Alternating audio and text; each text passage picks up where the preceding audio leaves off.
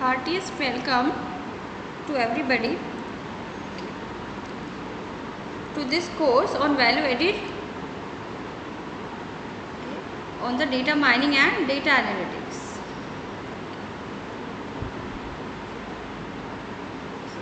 This is the value added course on the data mining and data analytics. So we all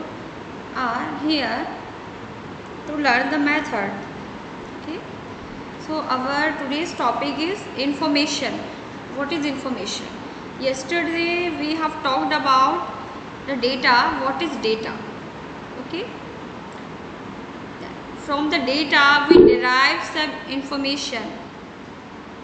so that information is important okay why data is important because we derive information from data yesterday we have talked about what is data now today we will discuss about what is information so these are the general terms and you are using in your daily life also okay you can also tell me something about what is information you can define the information in your own words also so first of all i invite you everybody so i invite you on eh, in this course in this value added course okay so we are discussing on the topic of information so can you can any one of you define what is information in your own words okay uh, I am not asking about the bookish definition okay so several times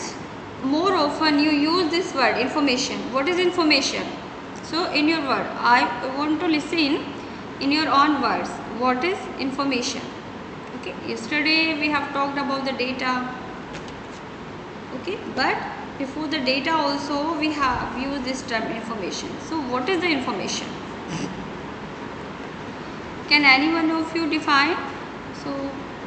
all of you are here you can tell something what is information for you for everybody it can be different perception okay Garima, Knowledge yes? or for observation is information.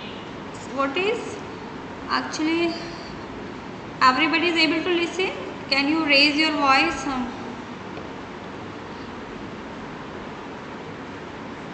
So that everybody can listen, okay?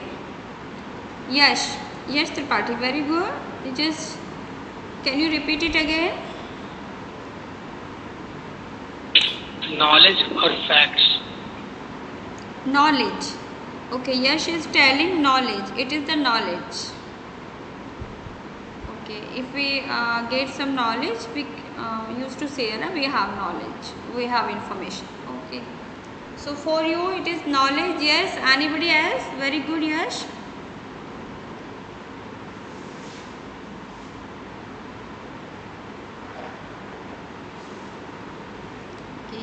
Sanju Sanju Pal Preksha Aman any anybody yes Garima what is this Garima एकांकी yes yes whatever comes in your mind okay just think like you, know, you are the teacher so this is not I, i'm not going to ask the question in that mm-hmm.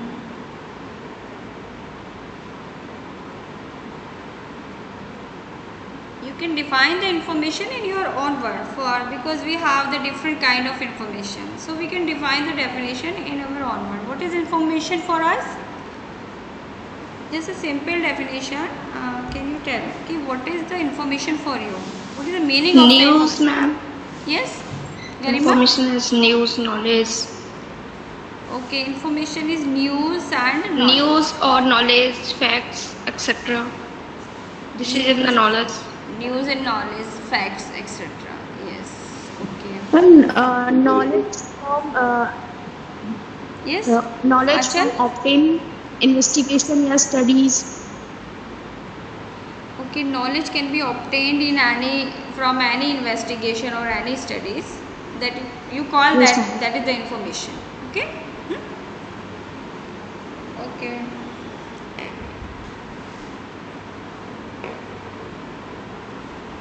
yes so Anchal has said that knowledge we can get from the any investigation or studies okay suppose we have carried out the study so in our daily life also we uh, carry out the study we do the study whenever we used to go anywhere else we used to observe on the way whatever comes in the way so we used to observe so that is also your study hmm? or uh, investigation happen is certain kinds of events but generally our mind uh, observe uh, we observe wherever we go we used to observe in the surrounding that is also one kind of study and daily we used to do that so we all get the information huh? yes anybody else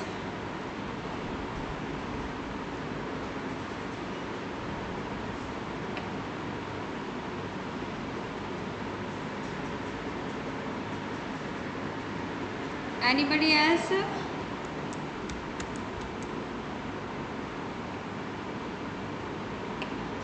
Ma'am, yes ma'am, information is a knowledge of a communication. information is knowledge on communication right okay ये भी सही है this is also okay communication means uh, you mean to say uh, it is sent by somebody and some, somebody is a receiver huh? another one is a receiver hmm? there will be the sender yes. and there will be the receiver also prashansha is telling huh? okay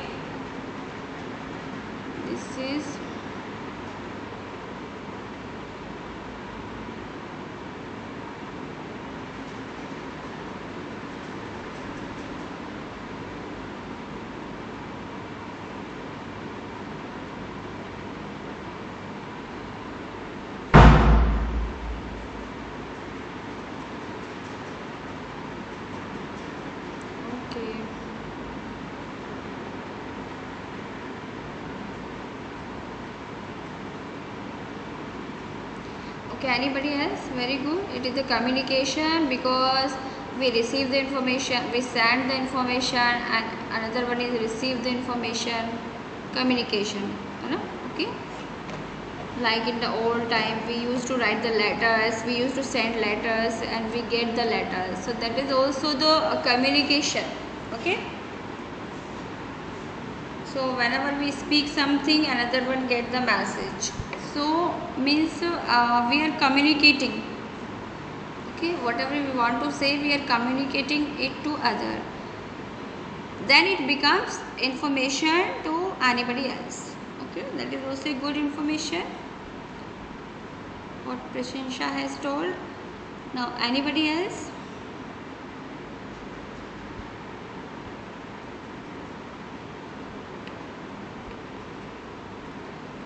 okay anybody else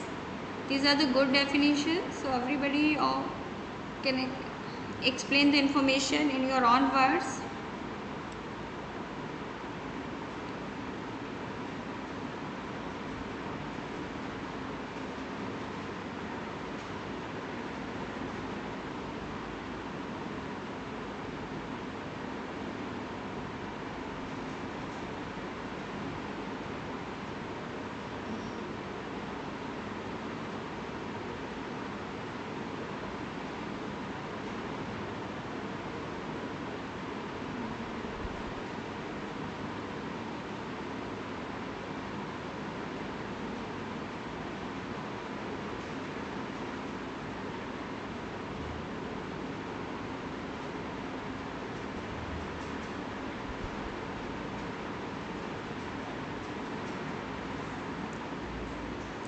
Anybody else?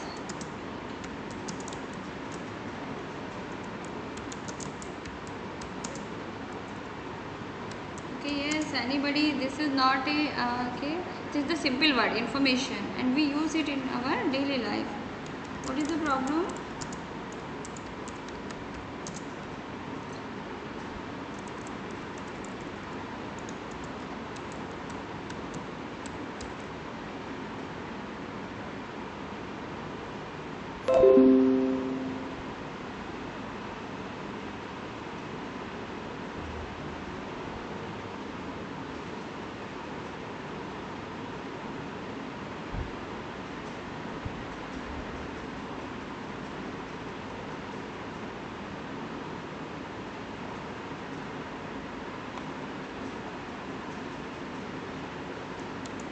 it is a knowledge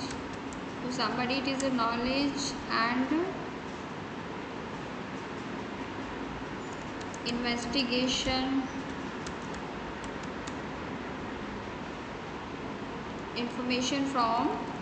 investigation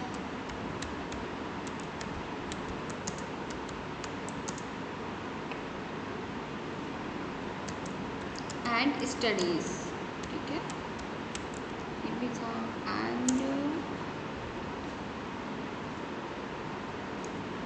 communication okay information from communication we get information from communication that is important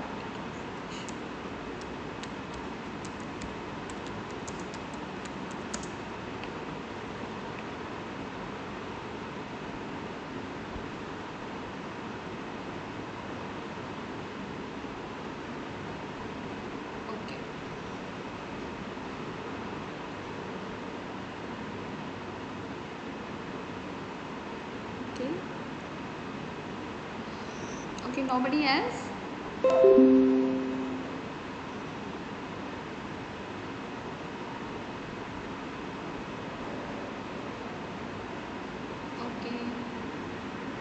so uh, uh i have written your uh, somebody has told me uh, this is the knowledge and so information from investigation and studies and we get information from communication okay so these are the different words that we can take we can discuss about this is the knowledge knowledge means uh, we know something i will come later on on this part because knowledge that means when we do something then we come to know sometimes we get the information from anybody else but after few days or after some time we come to know this is the correct information or not this is the information or not ना सो knowledge हमें कब होती है जब हम उसे use करते हैं ठीक है तो अभी क्या है ना ना we are discussing only the information ठीक है जब हम उसे यूज़ करते हैं प्रैक्टिकली करते हैं when then we come to know about knowledge part पे हम आते हैं ठीक है तो अभी क्या है हम लेके चलते हैं ना we are discussing only the information part information पहले आती है नॉलेज से पहले हमारे पास information I then we get the knowledge ठीक है so like that we ha we have the data then we get the information from data ठीक है in the same way we get the knowledge from the information तो ये एक एक flow है तो इस नॉलेज पार्ट पे हम बाद में आते हैं ठीक है so so,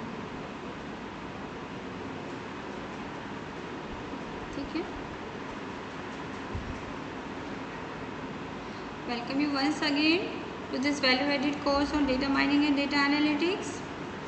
so students today we are going to discuss about the information what is information okay so these are our learning objective uh, after this lecture you will be able to define data clearly identifying that data has okay but this is not correct okay so we have to identify the data has meaning or not data should have the meaning define information show how data can become information through context and meaning theek hai these are our learning objective ki data mein koi information hai bhi ya nahi hai kisi ko hum dikhayenge to somebody get the information theek hai like somebody uh, is speaking in the Sanskrit. If anybody do not know the Sanskrit, so that is not the information for that person. So it is the perception हम कह सकते हैं जिसको कि समझ में आए हमें क्या समझ में आ रहा है what we are getting from sometimes it become information sometimes it doesn't become the information ठीक है although there is a data data is available but for everybody it has a different meaning अगर समझ में आता है तो ठीक है इन्फॉर्मेशन मिल जाएगी नहीं तो नहीं मिलेगी so after this lecture you will be able to refine information then how data can become information we how to see the context and meaning किस रेफरेंस में बात हो रही है ठीक है sometimes we use to talk with each other ठीक है एंड ये कह सकते हैं अचानक से क्या होता है कोई someone is coming okay join the meeting but he और she do not know what was in the discussion so sometimes he और she can perceive the different kind of information from the same data okay if they do not have the prior discussion prior knowledge of the discussion ठीक है just imagine we are we are the friends and we are talking with each other ठीक है and somebody has joined immediately. So the third person who has joined immediately, he or she uh, do not have the idea what we are talking about. So uh, he or she can perceive the different kind of information. suppose on the way somebody is moving, so he or she can perceive the different information what we are talking about. Okay. So without knowing the complete thing, sometimes we perceive the different kind of information. So it depends. So uh, we should know about the context also. Information has context and meaning. ठीक है किस reference में है वो किस context में है इसका कोई मीनिंग होता है so we should know about that if I knowledge and understand that information becomes knowledge when human experience is applied when we experience it become so ये क्या है define knowledge and understand that information becomes knowledge when human experience is applied okay suppose we have data we have information but when we experience it practically in our practical life whenever we do the practical then only we get the knowledge the information becomes knowledge okay we used to read the different things in the books but when it becomes the knowledge whenever you applied whenever you applied that information in your daily life in your practical life or in the laboratory or any anywhere else when you are actually applying the information or you are experiencing that information that becomes your knowledge okay knowledge doesn't come without any practical work before that you can call it this is the information you have the data you have multiple things in your mobile in your mobile that you have multiple books you have multiple notes but you have not read about those notes so you do not have the knowledge or it, even the information also you have the data in your mobile but you do not know about the information what information you have how much information you have so and when you come to know what are these information that is stored in your mobile in your laptop then it becomes information that you have the information or whenever you apply it whenever whenever you experience that it becomes your knowledge then you move towards the knowledge part okay so the word information has Latin इसका हम देख लेते हैं क्या है roots है informo that is the word informo Latin roots and Greek informatio okay which means model model model means like uh, okay like we have the role model authentic authentic model of something and we can define the model we can define the different models we can define with the things the object that can be defined hmm? model so it can be considered in two contexts like uh, one is act of molding the mind because from the same event uh, different people can learn the different things okay so this is the act the one is act of molding the mind so from the same data also uh, different person can perceive the different kind of information so this is about this is something about so this is the kind of modeling which we do uh, by our mind. So this is the one is the act of molding the mind and the set or we can say and the set of communicating knowledge. So these are the two different things okay. from the same data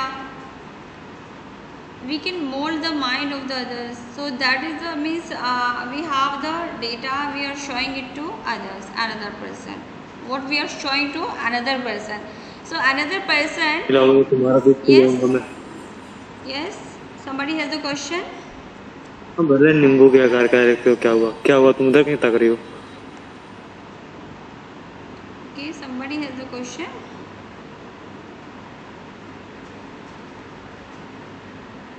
yes if you have any question you can ask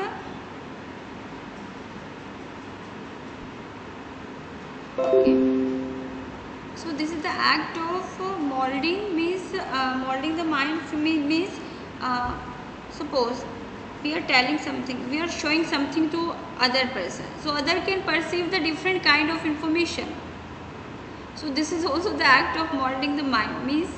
the different person perceive uh, their interpretation may be different for the same data okay it depends what is in their mind what model they create in their mind it depends on them also okay so uh, another context is the set of communicating knowledge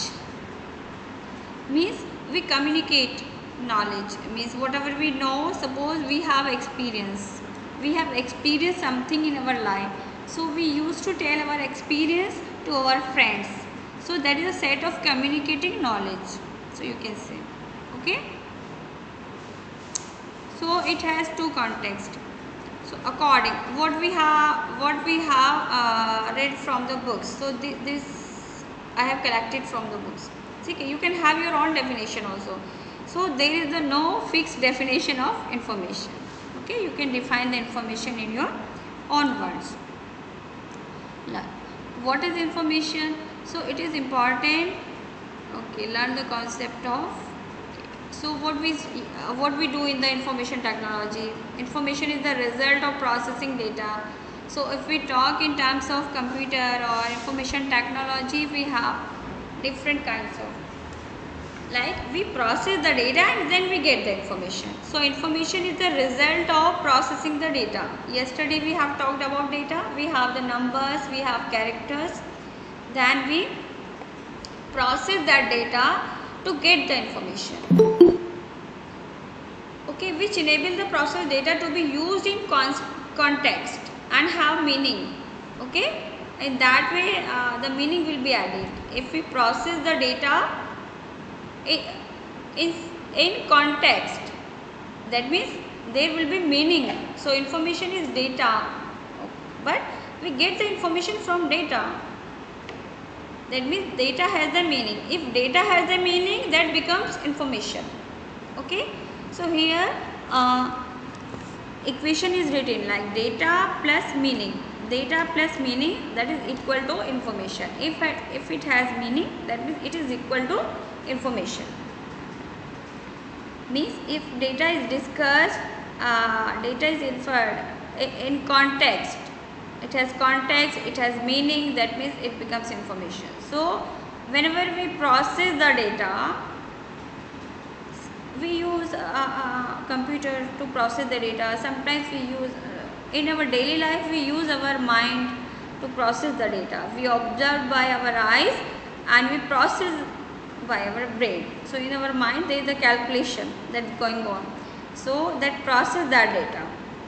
whenever you go outside your uh, you used to see different kind of data then you uh, get the different kind of information and meaning of that okay it depend on person to person whatever it, what it also depend requirement also so different persons can perceive the same data in the different way so but data has the meaning if it is discussed uh, if it has meaning means in context so context is important what i am trying to say that context is important so this is the another definition in the computer or it field this has because we uh, we should have data we should have number alphabets so that we can process after processing we can get the information so it has the con if it has the context why we are processing the data we have why we are uh, reading uh, studying this course data mining and data analytics because you all want to process your data somebody want to process the biological data somebody want to process the drug data and somebody want to process the chemical data material science data material data so after that there will be the information and knowledge that you will receive so first first there will be the information so first of all you should have the data that will be processed by okay different methods computational methods but but in our daily life we process the data our mind used to do that okay we observe from the environment then we process the data our mind process the data okay we calculate 2 plus 2 कितना होता है 2 plus 2 is 4 you don't use computer for that so immediately you can calculate so uh, your mind start calculating do the calculation so data has meaning okay like data becomes information in this way in this way data becomes information and information becomes knowledge when you experience so experience is important to get the knowledge okay so data is some kind of like number, alphabets. In terms of computer, because in the computer science we study data is the number, data is the string, alphabets. Hmm? Okay. Uh, yesterday we have talked about quantitative, qualitative,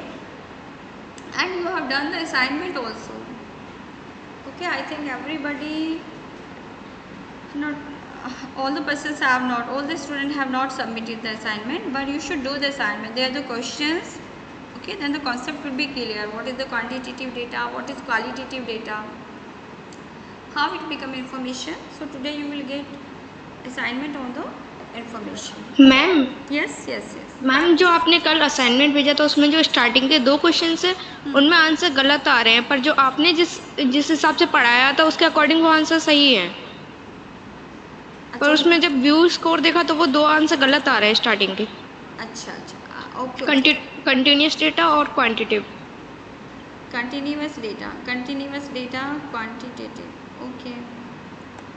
yes okay ठीक है ठीक है तो इसको देख लेते हैं हम लोग after this lecture we can discuss about the assignment okay okay okay ma'am ठीक है now the lecture is going on after this lecture we will discuss about the what are the problems in the assignment okay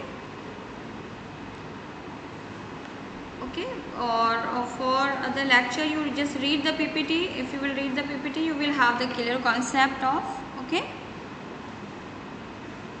now data becomes information if we process the data और ये हम करते ही हैं computer तो बाद में आया है हम अपनी डेली लाइफ में ये सब करते आ रहे हैं ठीक है ऐसा नहीं है कि कंप्यूटर आया तभी हम प्रोसेसिंग करते हैं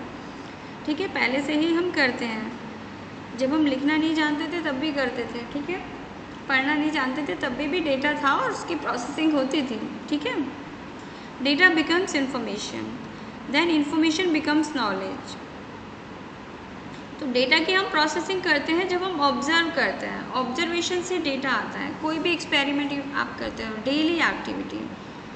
anything you are doing after waking up what you do you just take bath you brush your teeth you take the breakfast so these are the action you are performing these are the practicals you are doing what data you have but you are not analyzing these are uh, these are your daily activity because you have become habitual of doing that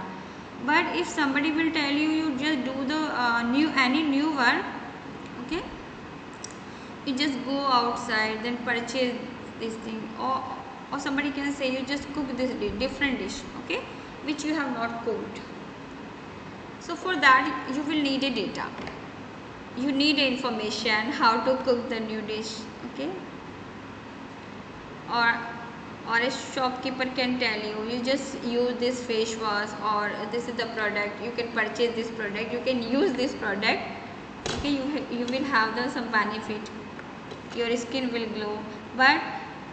this is the information you are getting from the shopkeeper but it's up to you whether you are going to purchase that product or not it's up to you but what shopkeeper is uh, doing the, they're providing you the data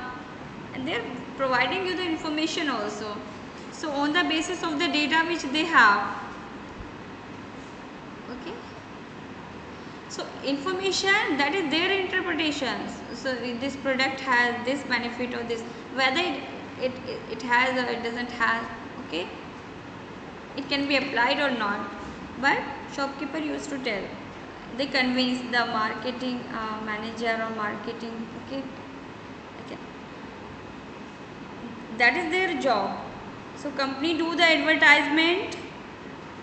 company do so what information they want to convey they are providing they are not providing you the uh, more data so they are giving you the information they are providing the minimum uh, data okay and you are perceiving the information you are receiving the information by television okay what they want to convey because sender sender wants to convey something so whenever uh, so for your daily work you have become habitual because you know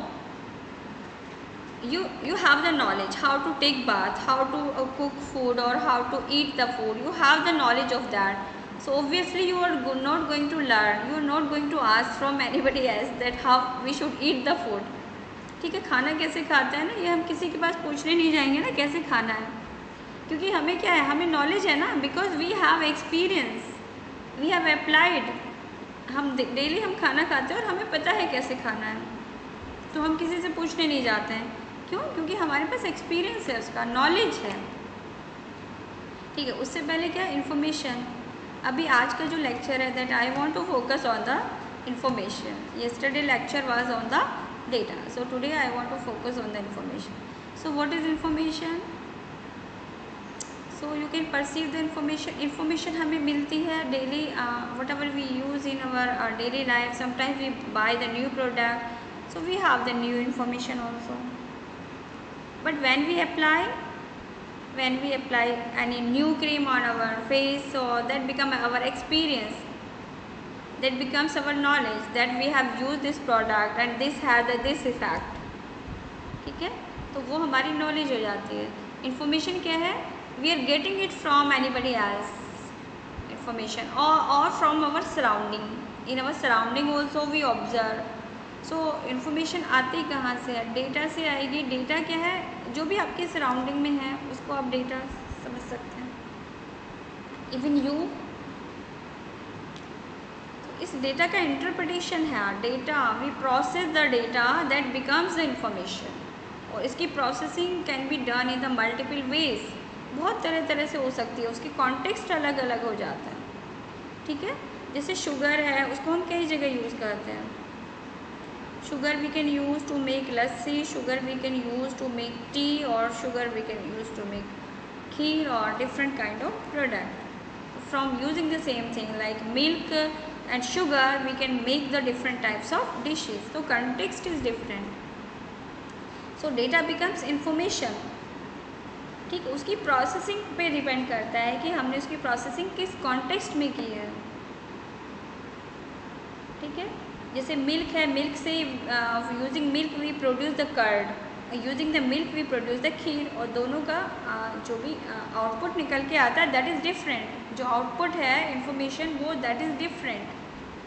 ठीक है so data becomes information by the processing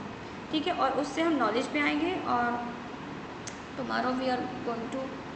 talk about this knowledge also ठीक है अभी हम लोग data पे रहते हैं डेटा से इंफॉर्मेशन ठीक है now now you just look at these examples given for the data like these are the number three six nine twelve okay so this is the data three six nine twelve can you interpret something ये भी data है और भी data है cat dog gerbil rabbit cat and जो next line में है वो हमारे कंटिन्यूस डेटा है अब ऊपर देखेंगे तो वो क्या है that is discrete data okay ये हमारा कैरेक्टरिस्टिंग डेटा है qualitative data cat dog rabbit what is this this is qualitative data और third one what is this this is continuous data that is given like ये weight हो सकता है कुछ ठीक है अब ये है क्या आपको नहीं पता चलेगा ना three six nine twelve what is this इससे आप क्या इंटरप्रेट करते हैं can anybody tell me what is the meaning of three six nine twelve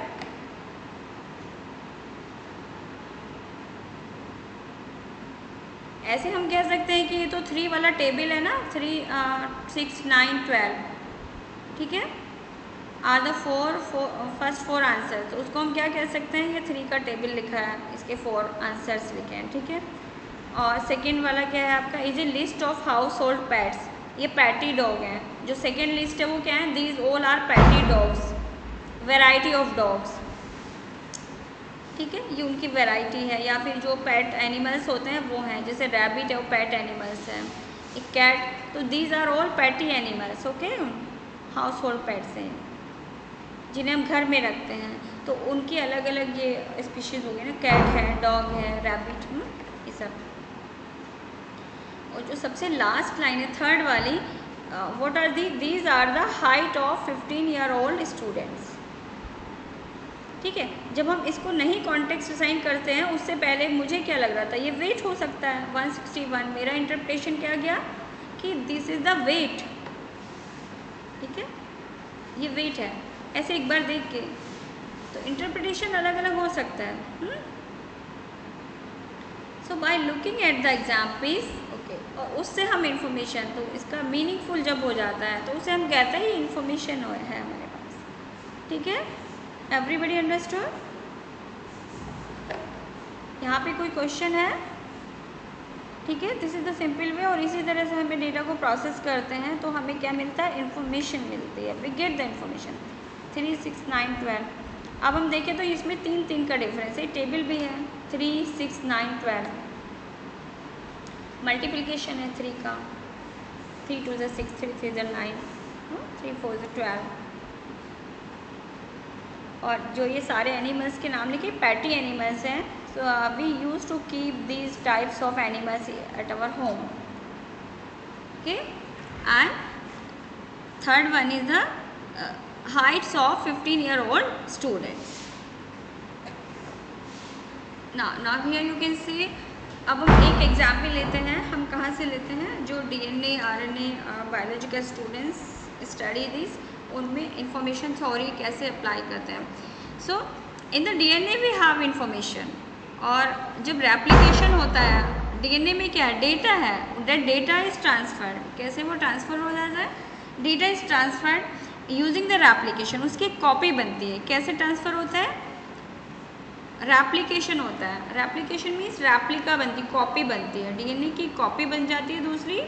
और वो दूसरी सेल में चली जाती है सेल डिवीज़न होता है और DNA half fifty percent divide हो जाता है डॉटर सेल में चला जाता है इस तरह से डीएनए रेप्लिकेट होकर कॉपी चली जाती है इसमें क्या कोड है you can see in the figure तो एल्फ़ाबेट्स होते हैं A contain four alphabets A T G C इस तरह से हम कह सकते हैं कि डेटा ट्रांसफ़र हो गया डेटा ही ट्रांसफ़र हुआ है एप्लीकेशन अनदर वन रिएक्शन क्या होती है ट्रांसक्रिप्शन ये एक प्रोसेस है ये प्रोसेसिंग हो रही है एप्लीकेशन इज़ वन प्रोसेस जिसमें कि डेटा ट्रांसफ़र हुआ and transcription is another process इसमें क्या हो रहा है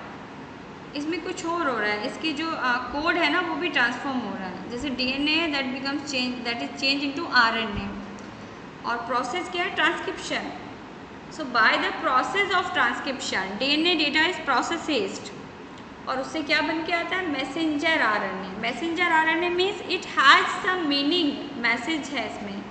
इसमें क्या है मैसेज है लेकिन वो मैसेज क्या है हमें नहीं पता होता तो हम क्या कहते हैं उसे transcription this is not translation क्योंकि अगर ट्रांसलेशन होता है तो आपको समझ में आ जाता है जैसे somebody do not know the uh, English so we can explain if we know the hindi we can explain them in the hindi okay in their own mother tongue we can explain but agar hum दूसरी language में change करते हैं that process is called translation लेकिन हम एक code को दूसरे code में चेंज करते हैं दैट इज कॉल्ड ट्रांसक्रिप्शन वो अनरीडेबल है M R N is also unreadable for you you can not read okay there are some certain enzymes that enzyme can read the uh, info, uh, information from the R N A R N A में एक data है वो information में कब आएगा वो एक context में रीडिंग होगी तब आएगा तो अभी क्या डी एन ए से आर एन ए बना है that is called transcription transcription तो ये भी कोड है एमिनो एसिड बनेंगे तब पता चल ना now this M R N A change into protein using the process of translation means Now this protein will perform action. This has meaning. The protein में क्या होता है मीनिंग भी मिल जाता है हमें कि ये प्रोटीन क्यों बनी थी ये आ, क्या है why this transcription and translation was going on now we have protein product now we have enzyme it has some specific function okay like in the glycolysis we have nine enzymes okay so they have they have the different function so we know what is their function so it has a now we get information okay so these are all process we get the data is processed dna data is processed by the different processes then we get the protein and protein perform action so uh, below the we can see the Shannon model आप देख सकते हैं there is the information source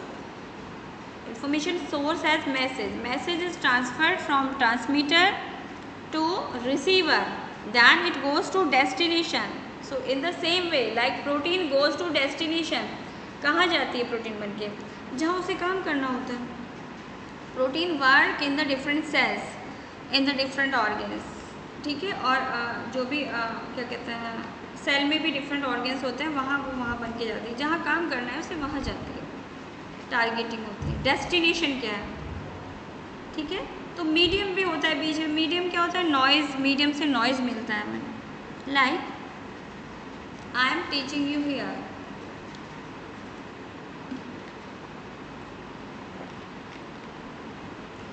so यहाँ पे बहुत सारे students हैं but everybody is not going to get all the messages what I am teaching ठीक है सभी लोग बराबर नहीं सीख परसीव कर पाएंगे कभी कभी होता है कि इन्वायरमेंट में क्या है wherever you are sitting medium क्या है it depends wherever you are sitting what is in our surrounding we are receiving information from there data हम रिसीव करते रहते हैं जैसे wherever we are sitting we are sitting in the crowd and we are attending this well very course so so, हमारा ध्यान कहाँ पे होगा सराउंडिंग पे भी होगा so it becomes noise medium तो ये उस पर डिपेंड करता है कि कितना आप लर्न कर रहे हैं कितना आप सीख रहे हैं how much you are getting from me I am the sender here but how much you are getting from me it depends person to person और सराउंडिंग मीडियम पे बहुत डिपेंड करता है मीडियम इज़ इम्पॉर्टेंट ठीक है sender से message तो जाता है और जो रिसीवर है देट ऑल्सो ही ही और she want to receive the message लेकिन मीडियम का बहुत बड़ा रोल होता है दैट बिकम्स तो सिग्नल की जो स्ट्रेंथ होती है वो कम हो जाती है कई बार okay no matter how good I am teaching how bad I am teaching but it depends on the environment also surrounding कि हमारी सराउंडिंग में क्या है ठीक है उस पर डिपेंड करता है कि सराउंडिंग में क्राउड सराउंडिंग में क्या डेटा है in the room in which we are sitting what is written on the walls और पहले से ही वहाँ बहुत सारा डेटा इन्फॉर्मेशन लगा हुआ है तो आ, ये it is less likely that you are going to get the more और you are ready for the the information तो अगर सराउंडिंग में कुछ भी नहीं है देन इसके चांसेस ज़्यादा है कि you are going to receive much more from me surrounding में क्या है शांति है थोड़ा सा और ठीक है और थोड़ा रूम भी खाली है जैसे क्लास रूम होते हैं क्लास रूम का एक एटमोसफियर अलग ही होता है सो इट डिपेंड्स मीडियम पे डिपेंड करता है ठीक है ऐसे ना you you are going to watch the movie तो वो मूवी के इफेक्ट को बढ़ाने के लिए क्या करते हैं वहाँ पे अंधेरा कर देते हैं ठीक है और उस तरह का एटमॉस्फेयर वो क्रिएट करते हैं so that you can focus on the movie तो वो क्या करते हैं हंड्रेड परसेंट वो ट्रांसफ़र करना चाहते हैं इन्फॉर्मेशन ठीक है पर डिपेंड मीडियम पे डिपेंड करता है और आप you are watching the movie at your home so दोनों में जितना डिफरेंस होता है उतना ही डिफरेंस हो गया ठीक है ये आगे भी हम शेनन मॉडल को डिस्कस करते हैं अभी लेक्चर ये थोड़ा सा लेंथी है ठीक है तो concept of information in natural science there are many more definition there are more difficult complex definition ठीक है बहुत सारी डेफिनेशन हमारे पास में हैं और इंफॉर्मेशन है क्या वैसे फ्लो है between sender and receiver okay like I am the sender here and you are the receiver and I, I am also receiving the data from you because today you have defined the information in your way so this is the two way communication okay so there should be two way communication then only the data can be or information can be transferred from one जो message है that can be transferred from sender to receiver और इसको हमें बढ़ाना है तो like you should ask the question और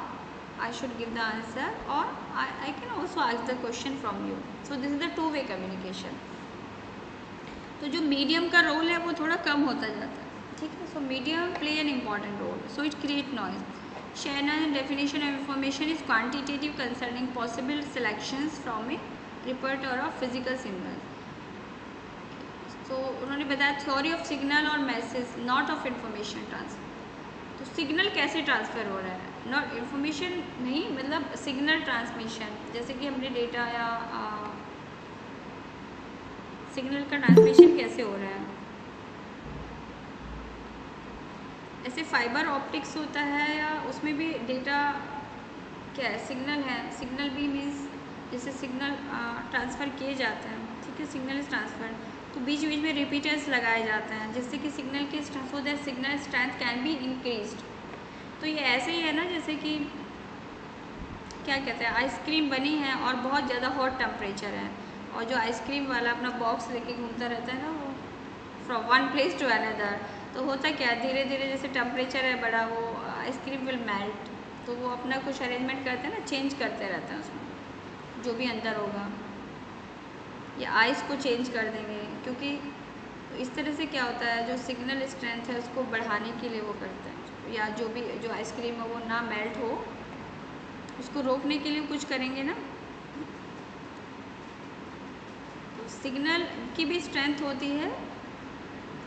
जैसे कि कंपनी डेटा ट्रांसफ़र हो so it depends on the medium medium source तो इम्पॉर्टेंट है रिसीवर भी इम्पॉर्टेंट है लेकिन medium also play an important role फिर एनकोडर होता है एनकोडर भी होता है उसमें मैसेज भी होगा चैनल होगा डिकोडर होगा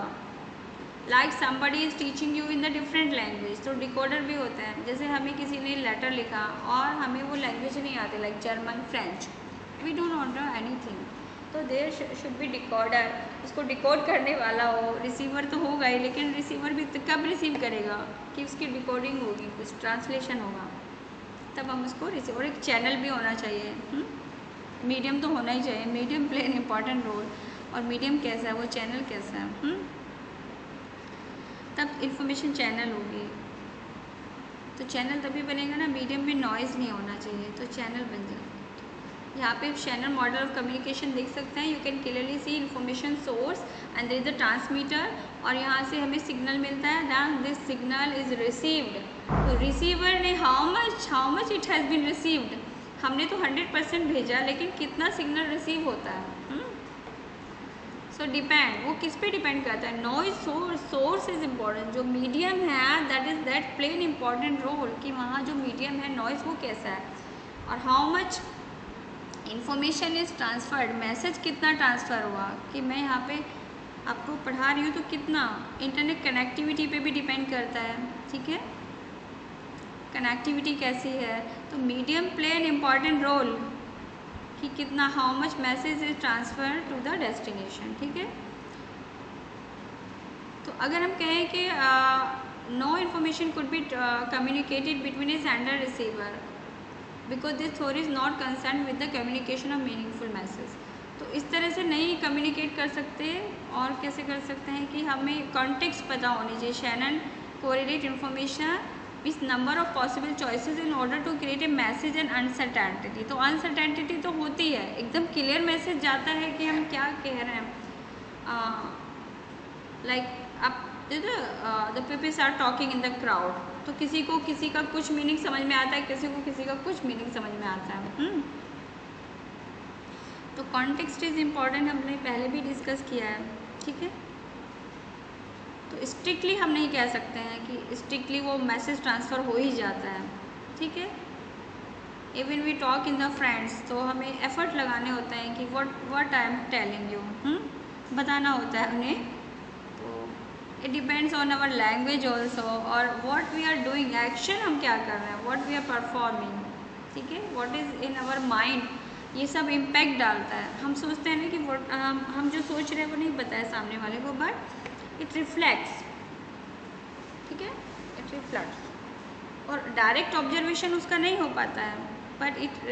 रिफ्लेक्शन होता है आपके वर्ड्स में आप जैसे एक्सप्लेन कर रहे हैं उसमें ठीक है तो वो चीज़ें जिन्हें हम नहीं देख सकते उनके बारे में तो हम नहीं बातें करेंगे नहीं और हम क्या greater the freedom of choice the greater the uncertainty होती है अनसर्टेंटिटी हम कहेंगे अगर एंट्रॉपी से रिलेट करें जहाँ पे भी अनसर्टेंटिटी वहाँ पे है इन्फॉर्मेशन होती है ठीक है सपोज एक कोई वेल ऑर्गेनाइज चीज़ें रखी हैं ना तो वहाँ पे क्या है ना वहाँ पर आप शांति से बैठे रहेंगे वेल ऑर्गेनाइज है ठीक है सपोज वहाँ पे मैं कोई मैसेज डिस्प्ले करूँ तो ठीक है समझ में आएगा बट कई बार क्या होता है इंटरेस्ट नहीं होता है रिसीवर का receiver is not interested in and listening me या आप कुछ कहना चाहते हैं उनको नहीं इंटरेस्ट है ठीक है suppose you are sitting on the railway station और कहीं पे भी आप बाहर हैं लेकिन अगर कोई इंसिडेंस हो जाए वहाँ पे कुछ ऐसे उथल पुथल से मच जाए ना तो सब पूछेंगे what what happen what happen what is happening here what is happening they will have the interest तो अनसर्टेंटिटी जहाँ होती है तो वहाँ पे भी इंफॉर्मेशन का फ्लो तो free that is the freedom of choice कि हम वहाँ पे क्यूरियस हो जाते हैं कि क्या हुआ ठीक है कुछ प्रॉब्लम हमें समझ में आए कि प्रॉब्लम है तो एंट्रोपी से भी हम रिलेट कर सकते हैं कि रैंडमनेस बढ़ जाती है देन अभी इन्फॉर्मेशन का ट्रांसफ़र होता है मोर इन्फॉर्मेशन वहाँ पे होती है डिसऑर्गेनाइजेशन जहाँ जहाँ होगा ठीक है ऐसे वो इन्फॉर्मेशन फैल जाएगी जैसे कोई भी मिस हो जाती है तो वो इन्फॉर्मेशन बहुत जल्दी बहुत जल्दी स्प्रेड हो जाएगी उस तरह की कोई भी डिसऑर्डरनेस होगी कहीं पे भी आप अनईजी फील करते हैं तो वो बहुत जल्दी स्प्रेड होगा आपको गुस्सा आ जाएगा या कुछ भी होगा सो वो बहुत जल्दी स्प्रेड होगा लेकिन अगर है अगर आप काम है तो वो नहीं पर अगर पॉजिटिव चीज़ें भी वहाँ पे ट्रांसफ़र होती हैं पॉजिटिव चीज़ें भी ठीक है सो so, ये कॉन्टेक्स्ट पे डिपेंड करता है so the concept of information seems Weaver's remark disappointing and disappointing disappointing भी हो सकता है because it has nothing to do with meaning तो we we are trying to we are trying to define the information लेकिन इसका कोई strict meaning नहीं होता है वैसे मैसेज का ट्रांसमिशन दैट इज़ इम्पॉर्टेंट और हमने क्या रिसीव किया दैट इज़ इम्पॉर्टेंट तो ये डिपेंड करता है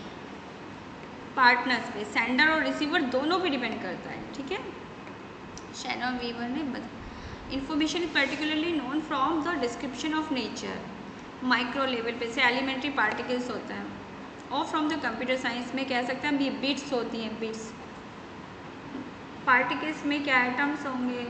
एटम्स होंगे ठीक है उसमें प्रोटॉन न्यूट्रॉन ये सब होंगे ये सारी इन्फॉर्मेशन होगी और कोई भी इसमें चेंज आता है तो इलेक्ट्रॉन का मूवमेंट चेंज होता है या फिर वो अपना एनर्जी लेवल चेंज करते हैं they move from one energy level to another या एनर्जी एमिट करते हैं इस तरह के चेंज आते हैं तो वो सब क्या है इन्फॉर्मेशन है डेटा हमें इसको मिलना चाहिए एक थ्योरी है big bang and events follow कि यूनिवर्स में सब क्या हो रहा है एक फिगर भी ली है अभी हम लोग इसको डिस्कस करेंगे ठीक है तो it can be defined like a framework of a very specific set of inter related physical laws and constant and it has been and will by humans ठीक है कुछ साइंटिस्ट उन्होंने रिव्यू भी लिखा है कुछ ऑथर्स के नाम दिए उन्होंने रिव्यू लिखा they have collected all the information about the universe उन्होंने क्या बताया है evolution of our universe can be seen as a dynamic flow of unfolding information means हमारे जो यूनिवर्स है उसमें अनफोल्डिंग हुआ है information creation of new information और ये होता रहता है in this figure you can see in the reality in the daily life you can observe in the fabric of reality is based on three aspect of universal substance that exhibit mutual transaction so here you can see information matter energy so these are the three things these are three means here we are talking about matter and energy also because for you means like information तो उसका हमारे लिए कोई meaning नहीं है if it is related to matter and energy then it becomes important for us okay food food has become important to us आपको information मिलती है वहाँ से खाना मिल रहा है that information is important for you it is associated with the matter and energy okay because उससे क्या है आपके एक्शंस जुड़े हैं because you are dependent on that okay so that information is important तो how much the information is important for you it depends तो हम लोग उसी को सर्च करते हैं ना जो इम्पॉर्टेंट है हमारे लिए जो नहीं है उसको नहीं in the mobile you have so many things but you search for the important signal form sequence patterns तो इन्फॉर्मेशन हम रिसीव करते हैं किस फॉर्म में सिग्नल फॉर्म सीक्वेंस पैटर्न कई बार होता है ना जैसे हम कुछ चीज़ें देखते हैं रास्ते में बोर्ड लगे होते हैं या फिर पेड़ पौधे हैं ना we are moving we are travelling by the train you we use to see ऐसे हमको नहीं दिखाई देता है किस तरह के खेत हैं कहाँ पे क्या क्या है लेकिन when we are travelling we use to see the clear picture एक बिग पिक्चर को हम देखते हैं ट्रैवलिंग में we can uh, look on the roads or on the way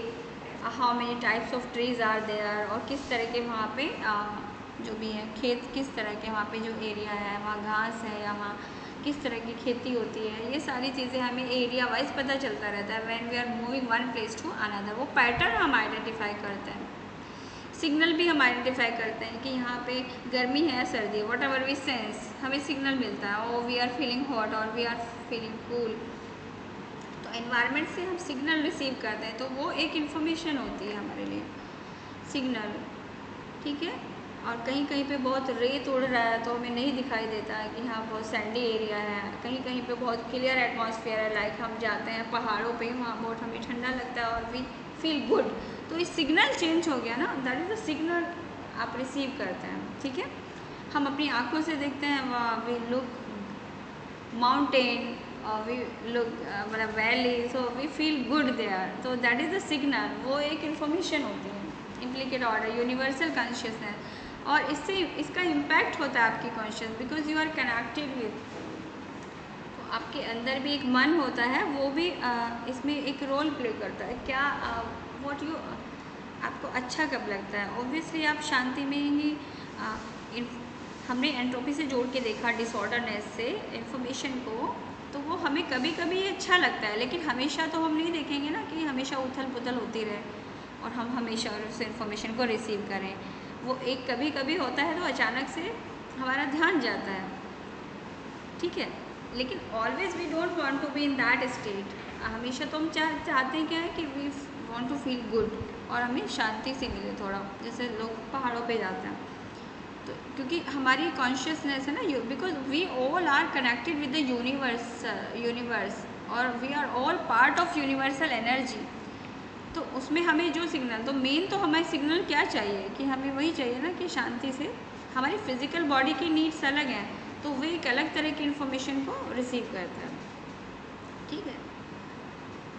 लेकिन हम सिग्नल भी रिसीव करते हैं फिज़िकल बॉडी से हम सिग्नल रिसीव करते हैं ठीक है पैटर्न हम आइडेंटिफाई करते हैं हम आँखों से देखते हैं eyes play an important role sense हमारी ऑब्जर्व करती हैं वो एक इम्पॉर्टेंट रोल प्ले करती हैं अब हमें अच्छा क्या लगता है बुरा क्या लगता है इस पर भी डिपेंड करता है कि how much we are getting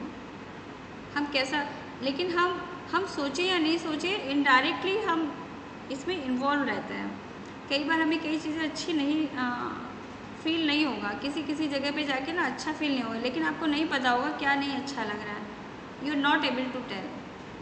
ठीक है तो because it happens because you all are part of universal energy और वहाँ जहाँ कमी होगी इस चीज़ की यू वॉन्ट फील गुड और जहाँ पे वो ज़्यादा होगी जैसे nature because we are all part of nature nature हम लिविंग बींग है तो जहाँ पे ज़्यादा लाइफ होगी लाइक फॉरेस्ट है लिविंग बींग है वहाँ पे पेड़ पौधे ज़्यादा हैं ठीक है और वहाँ आपको अच्छा लगेगा तो ये ये तो अंदर से मैसेज आता है तो वो एक यूनिवर्सल कॉन्शियसनेस का पार्ट हो गया और सिग्नल जो हम फिज़िकल जो हम फिज़िकल टच और फिज़िकल चीज़ों से फील करते हैं लाइक टेम्परेचर चेंज है उसमें हमें एनर्जी फील होता है because we all have been born as a physical body तो उतनी हमें मिनिमम मिनिमम रिक्वायरमेंट जो है जिस चीज़ की वो चाहिए और उतना हमें नहीं मिलता है दैट वी फील अनईजी ठीक है मिनिमम मिनिमम फूड हमें चाहिए इतना मिनिमम हमें चाहिए होता है दैन ठीक है अब वो अलग बात है आजकल हम लोग की रिक्वायरमेंट बढ़ गई कि और चाहिए और चाहिए that that is a another thing ठीक है कॉम्प्लेक्सिटी टेलीपोर्टेशन एक ट्रांसपोर्टेशन यहाँ पर लोगों कुछ और है मैटर एनर्जी आप यहाँ पे देखिए बस कि मैटर और एनर्जी किस तरह से रिलेटेड है तो मैटर मीन्स जो भी एक फिजिकल फॉर्म में यहाँ पे एग्जिस्ट करता है this is also associated with particles wave nuclear energy so energy की फॉर्म में चेंज होता है आप फर्स्ट लॉफ ऑफ थर्मोडाइनमिक्स पढ़े हैं कि energy cannot be created and destroyed तो एक ट्रांसफॉर्मेशन होता रहता है यूनिवर्स में क्या है ट्रांसफॉर्मेशन हो रहा है मैटर ट्रांसफॉर्म हो रहा है एनर्जी की फॉर्म में matter is transform in the energy और एनर्जी के लिए फर्स्ट लॉ ऑफ थर्मोडाइनमिक्स है कि energy can not be created and destroy तो इस तरह से तो हम कहें कि ये सब कांस्टेंट है ठीक है और nature know how to organise the universe हम जितनी भी रेंडमनेस वहाँ पे क्रिएट करते हैं आ, लेकिन यूनिवर्स क्या करता है उसको ऑर्गेनाइज करता रहता है ठीक है तो फैब्रिक ऑफ रियलिटी मतलब इससे भी हम जोड़ के देख सकते हैं इन्फॉर्मेशन क्या है because we have been born as a physical body हमारे पास आँखें हैं हमारे पास we can sense the temperature we can touch the things that's why we are getting the data and information this is the important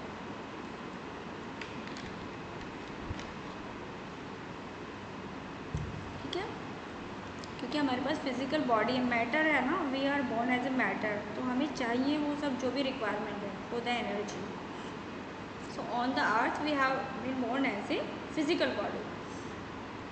so that's why we are getting the signals we are receiving the patterns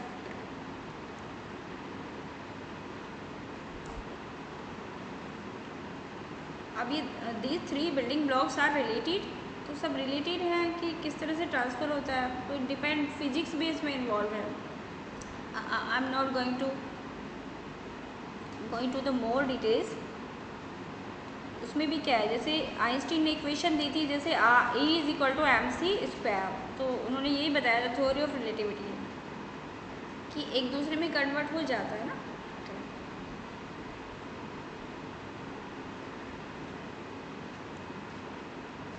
ठीक है so the modality of energy and interestingly the constant C in the equation according to Einstein so was not only the indicating the maximal speed of light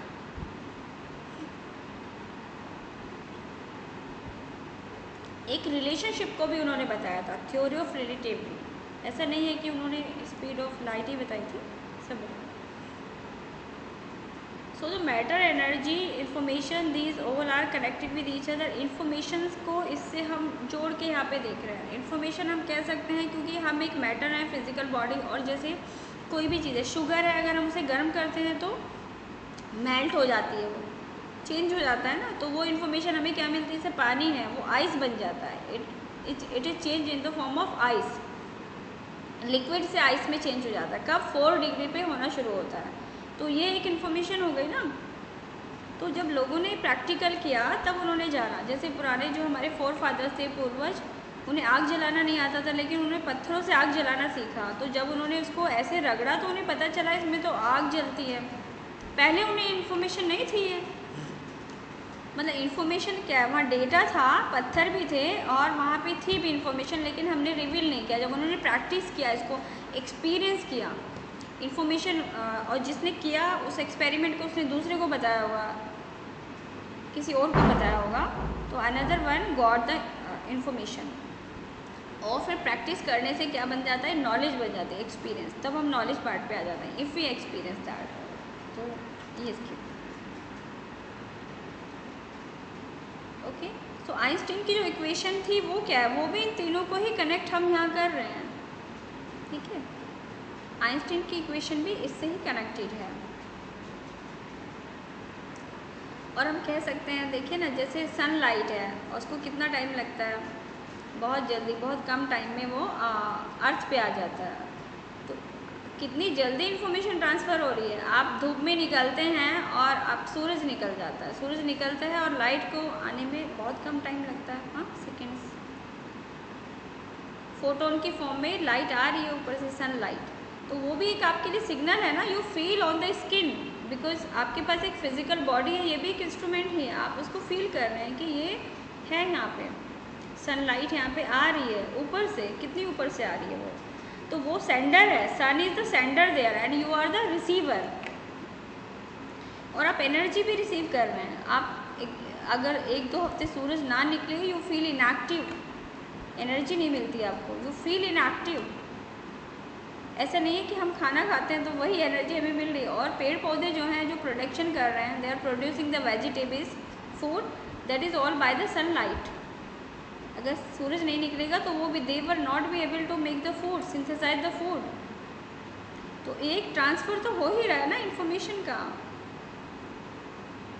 तो universe is doing तो yes everything is happening एक data transfer तो हो ही रहा है वहाँ से यहाँ तक इन्फॉर्मेशन भी ट्रांसफ़र हो रही है so these are all information and evolution किस तरह कनेक्टेड है बिकॉज uh, हमारा जो यूनिवर्स है उसमें हम देखेंगे सब कुछ everything is well organise और because of pollution or any environmental problem we have created due to the human intervention there are lot of problem that have been arising तो ये उससे भी थोड़ा चेंज हो रहा है लेकिन इंफॉर्मेशन ऑर्गेनाइजेशन ये सब हो रहा है एवोल्यूशन एवोल्यूशन से हम इसको डिफाइन कर सकते हैं पहले सिंगल सेलुलर स्ट्रक्चर थी then they is the evolution of multi cellular structures first of all there was the bacteria और उससे बैक्टीरिया से पहले कोई सर्वेज थे then bacteria or unicellular organic बने protozoans then there is the origin of multi cellular organic ठीक है प्लांट्स हैं और एनिमल्स बने ठीक है यूकैरियोट्स बने तो उसमें भी हायर प्लांट्स हैं मल्टी सेलर प्लांट्स भी होते हैं और एनिमल्स भी होते हैं एनिमल्स की ओरिजिन हुई प्लांट्स की ओरिजिन हुई अगर हम उनकी जीन सीक्वेंस सिमिलैरिटी निकाल के देखें तो उनमें सिमिलर हैं फिफ्टी परसेंट जीन रेस्परेशन के जीन सिमिलर हैं बहुत सारे जीन्स जो है वो सिमिलर होते हैं तो ये सारी क्या ये सब इन्फॉर्मेशन है कैसे डिकोड होती है अभी हमने डिस्कस किया था ट्रांसलेशन से mutation also play an important role वो अलग अलग तरह की वैरायटी बननी है क्रोमोजोमर रिओर्गेनाइजेशन होता है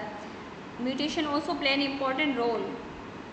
in making different types of organic gene duplication भी होता है एक कॉपी बनती है दूसरा एक दूसरी कॉपी बनेगी उसमें चेंज होता है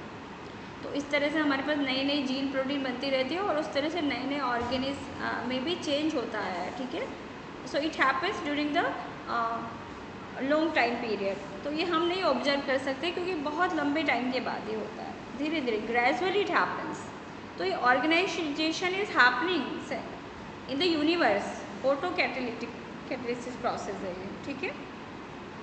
तो सिम्बायोटिक प्रोसेस सब एक दूसरे से कनेक्टेड हैं एक इकोसिस्टम में इट इज हैपनिंग ना what is missing the famous equation what is missing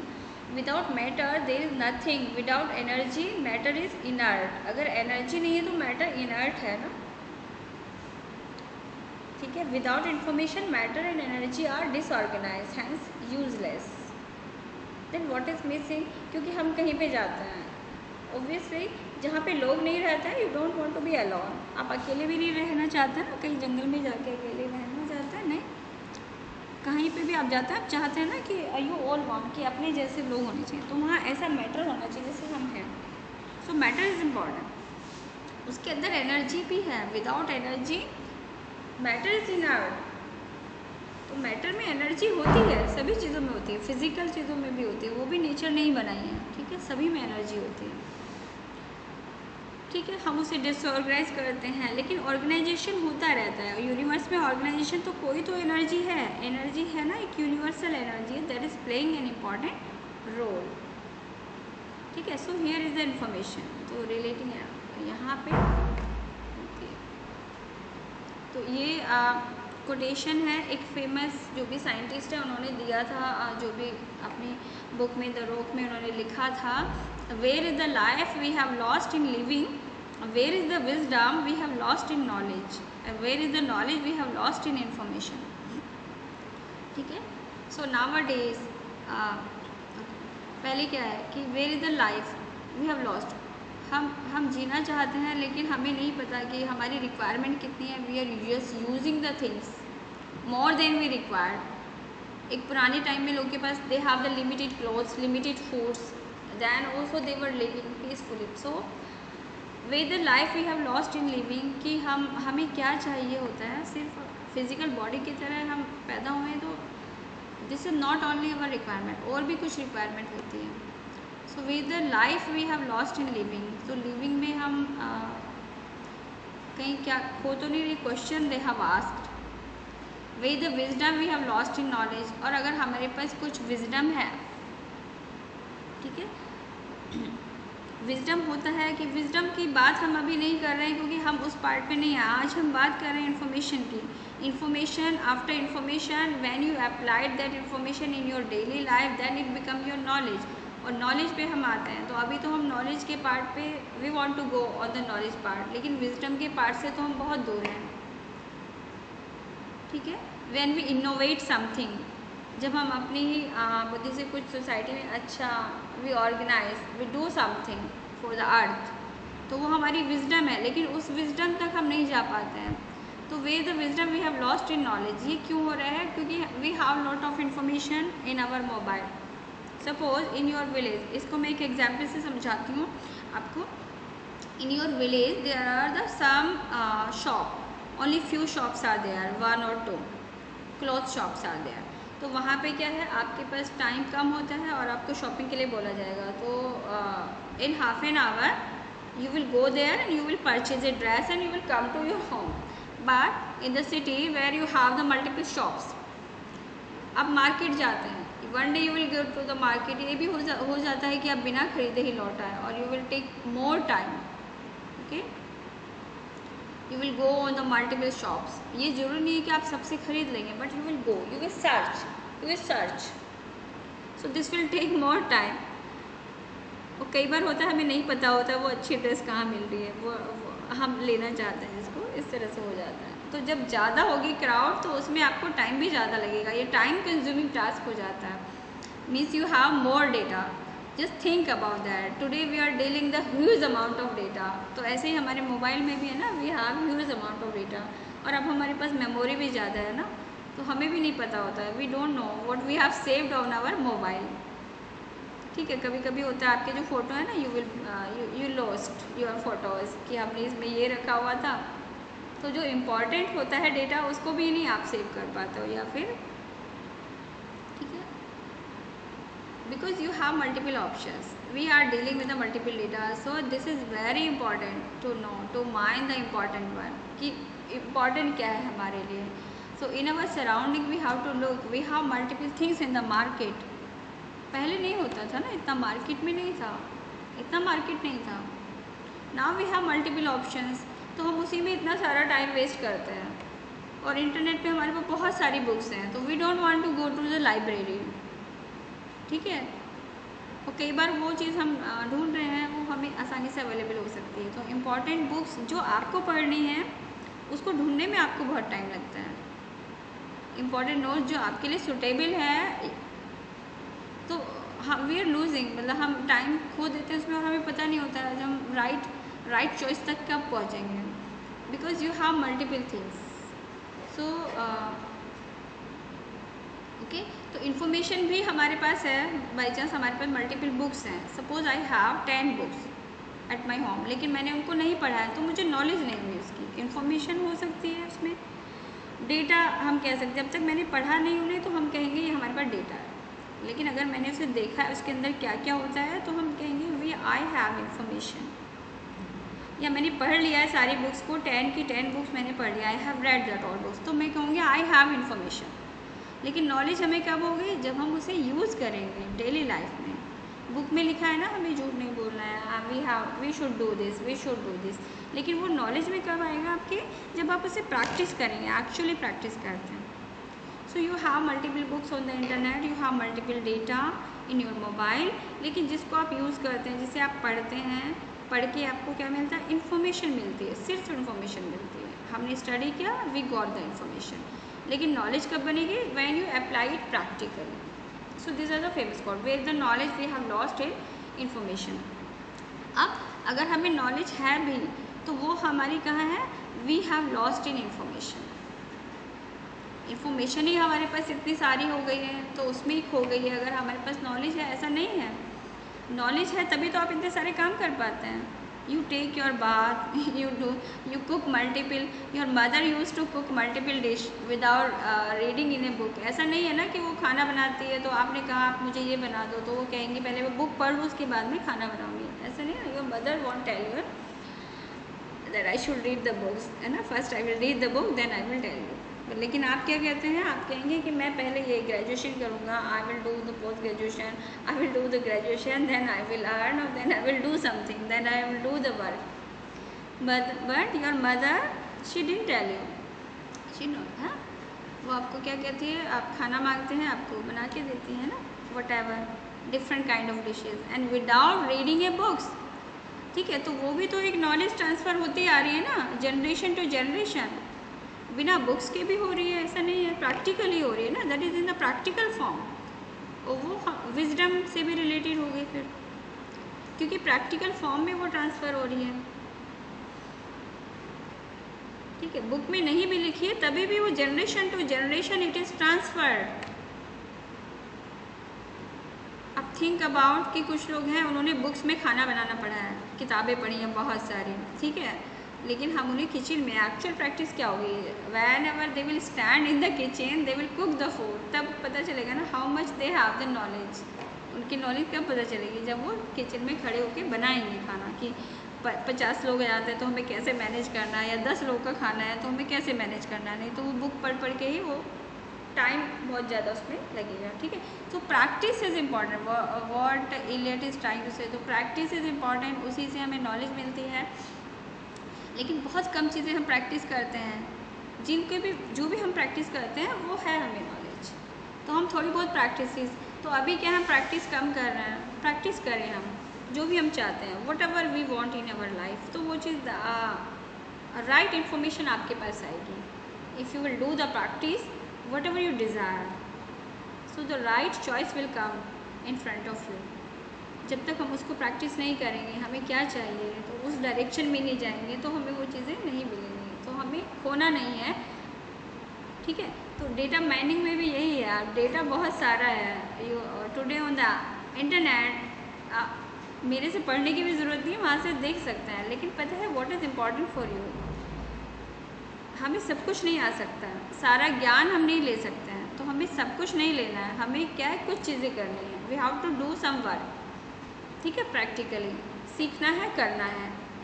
और उसे अपनी लाइफ में उतारना है अगर वो हमारे काम का है तो हम उसे करेंगे और otherwise we will discard it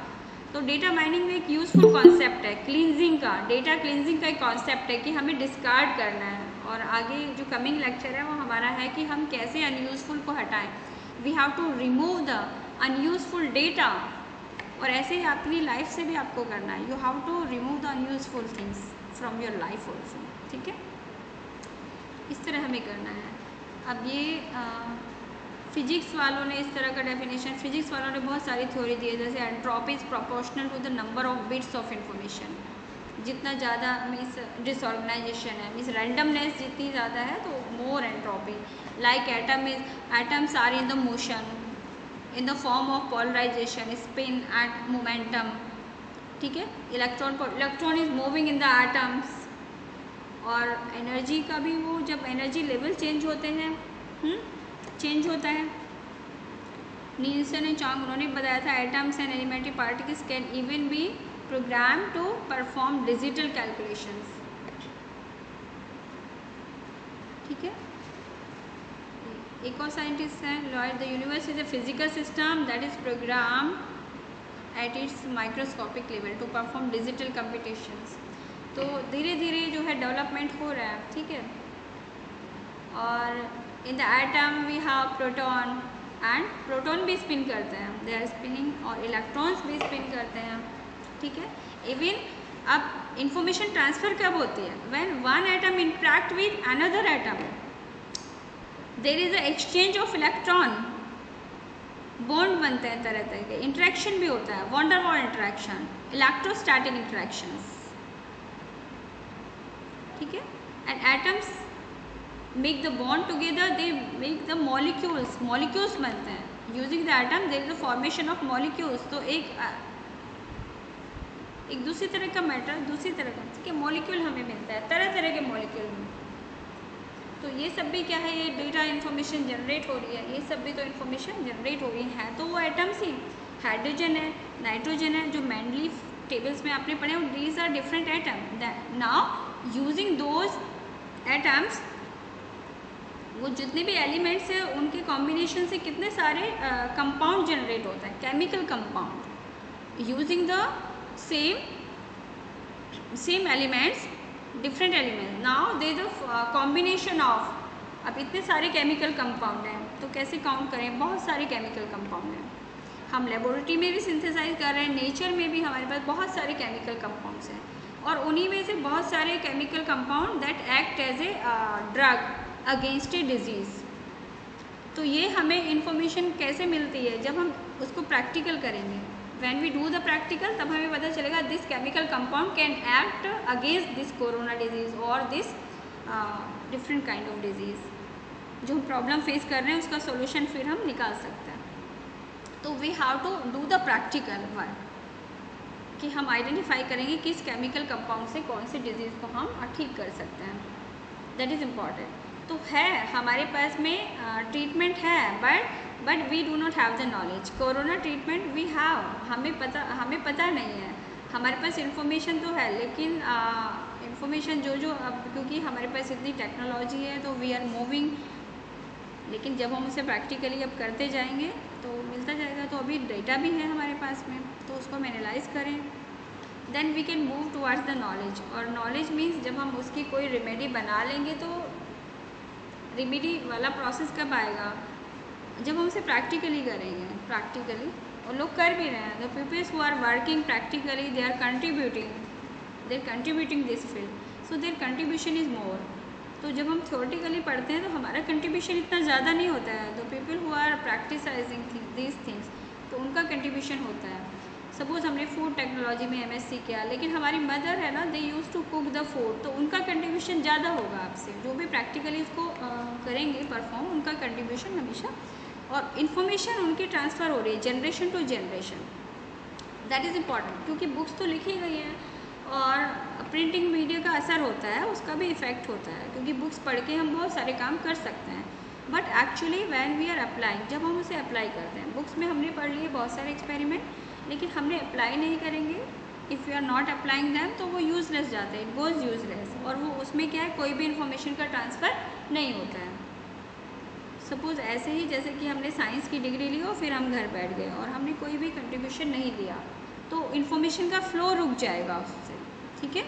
तो इन्फॉर्मेशन का फ्लो होना चाहिए nature and the nature it is happening universe is drawing universe is drawing their part वो एटम में इलेक्ट्रॉन को कोई घुमा नहीं रहा बैठ के इट इज़ मूविंग अपने आप हो रहा है ऑटोमेटिकली इट इज़ हैपनिंग तो आप करें ना करें universe is doing the work nature में ये सब हो रहा है अपने आप स्पिनिंग हो रही है मोमेंटम है ये सब कुछ है तो इन्फॉर्मेशन हमें मिलती है ऐसा नहीं है तो वो कुछ नहीं करेंगे सो so, ये एक इम्पॉर्टेंट टेक्स्ट है जिसको कि मैंने इस पर पेस्ट बहुत सारा material I don't paste too much text of the same but this is the important one I have taken from the recording the universe. So this is a useful information. You will have the clear concept. You can read it. ठीक है तो जब हम information को gather करते हैं उससे कुछ मेज़रमेंट लेते हैं तो ये हो गया आपका किसी डिवाइस से हमने जैसे टेम्परेचर को मेज़र किया प्रेशर को मेज़र किया तो देन इट बिकम्स इंफॉर्मेशन जैसे हम बीपी नापते हैं ना they is a machine check करते हैं जैसे डॉक्टर डॉक्टर के पास जाएंगे तो वो कुछ कुछ मशीन यूज़ करते हैं और वो तो वो भी एक डेटा हो जाता है ठीक है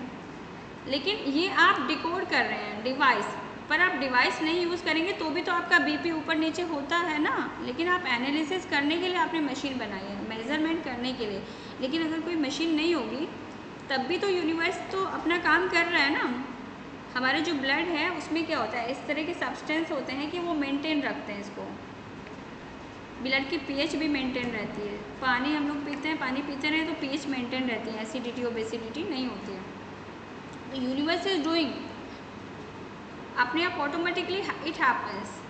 जैसे गर्मियों में क्या होता है हमारा ब्लड कूल रहता है लेकिन ठंड में हमारा ब्लड गर्म हो जाता है तो यूनिवर्स जो भी रिक्वायरमेंट है उसके अकॉर्डिंग वो कर रहा है universe is doing the world ठीक है और हम उस बीपी को चेक करें या ना करें तो ऑटोमेटिकली इट इज़ हैपनिंग लेकिन हमें क्या है we need the data for the analysis और इसलिए हम लोग ये सब पढ़ रहे हैं because we we want to analyse the data from our face तो for the analysis for the knowledge we are doing ठीक है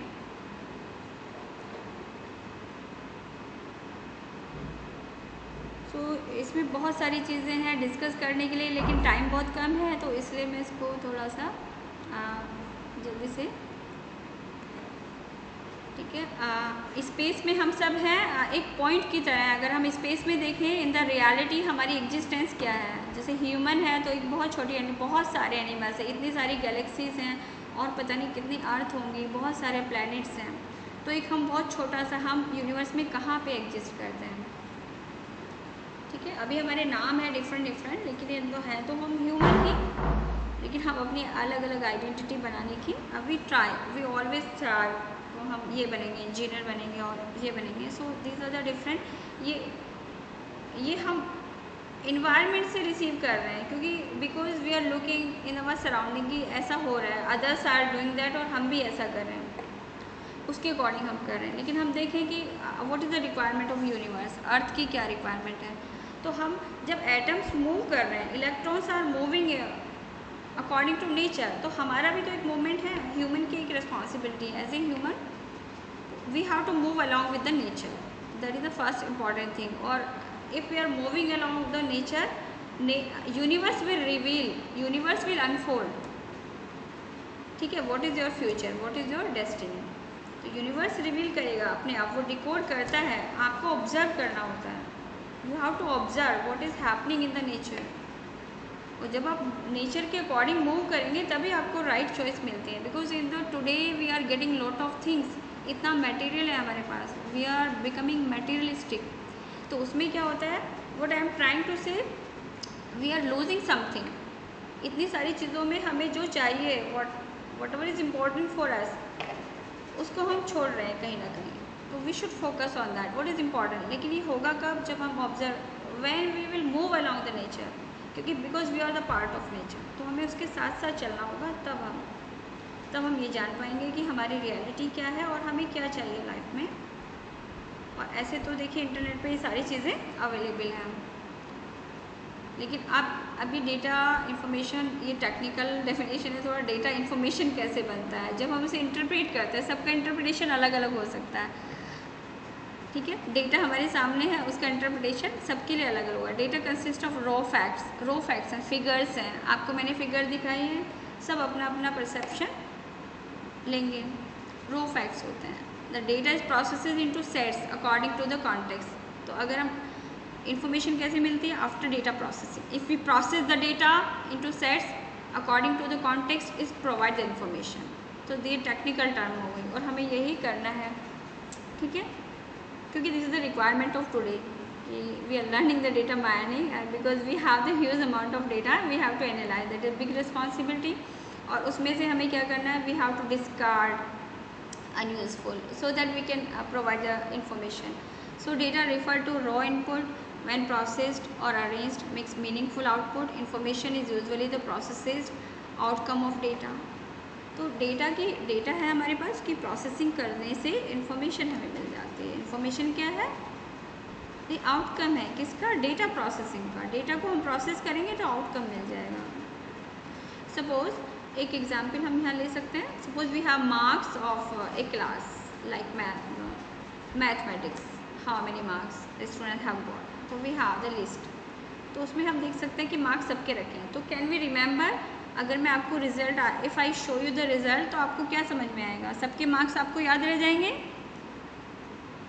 कोई कह सकता है yes anybody from the student कोई जैसे फोर्टी स्टूडेंट हैं सिक्सटी हैं can you remember the marks of 60 student just tell me yes from the student this is a question for you nobody is here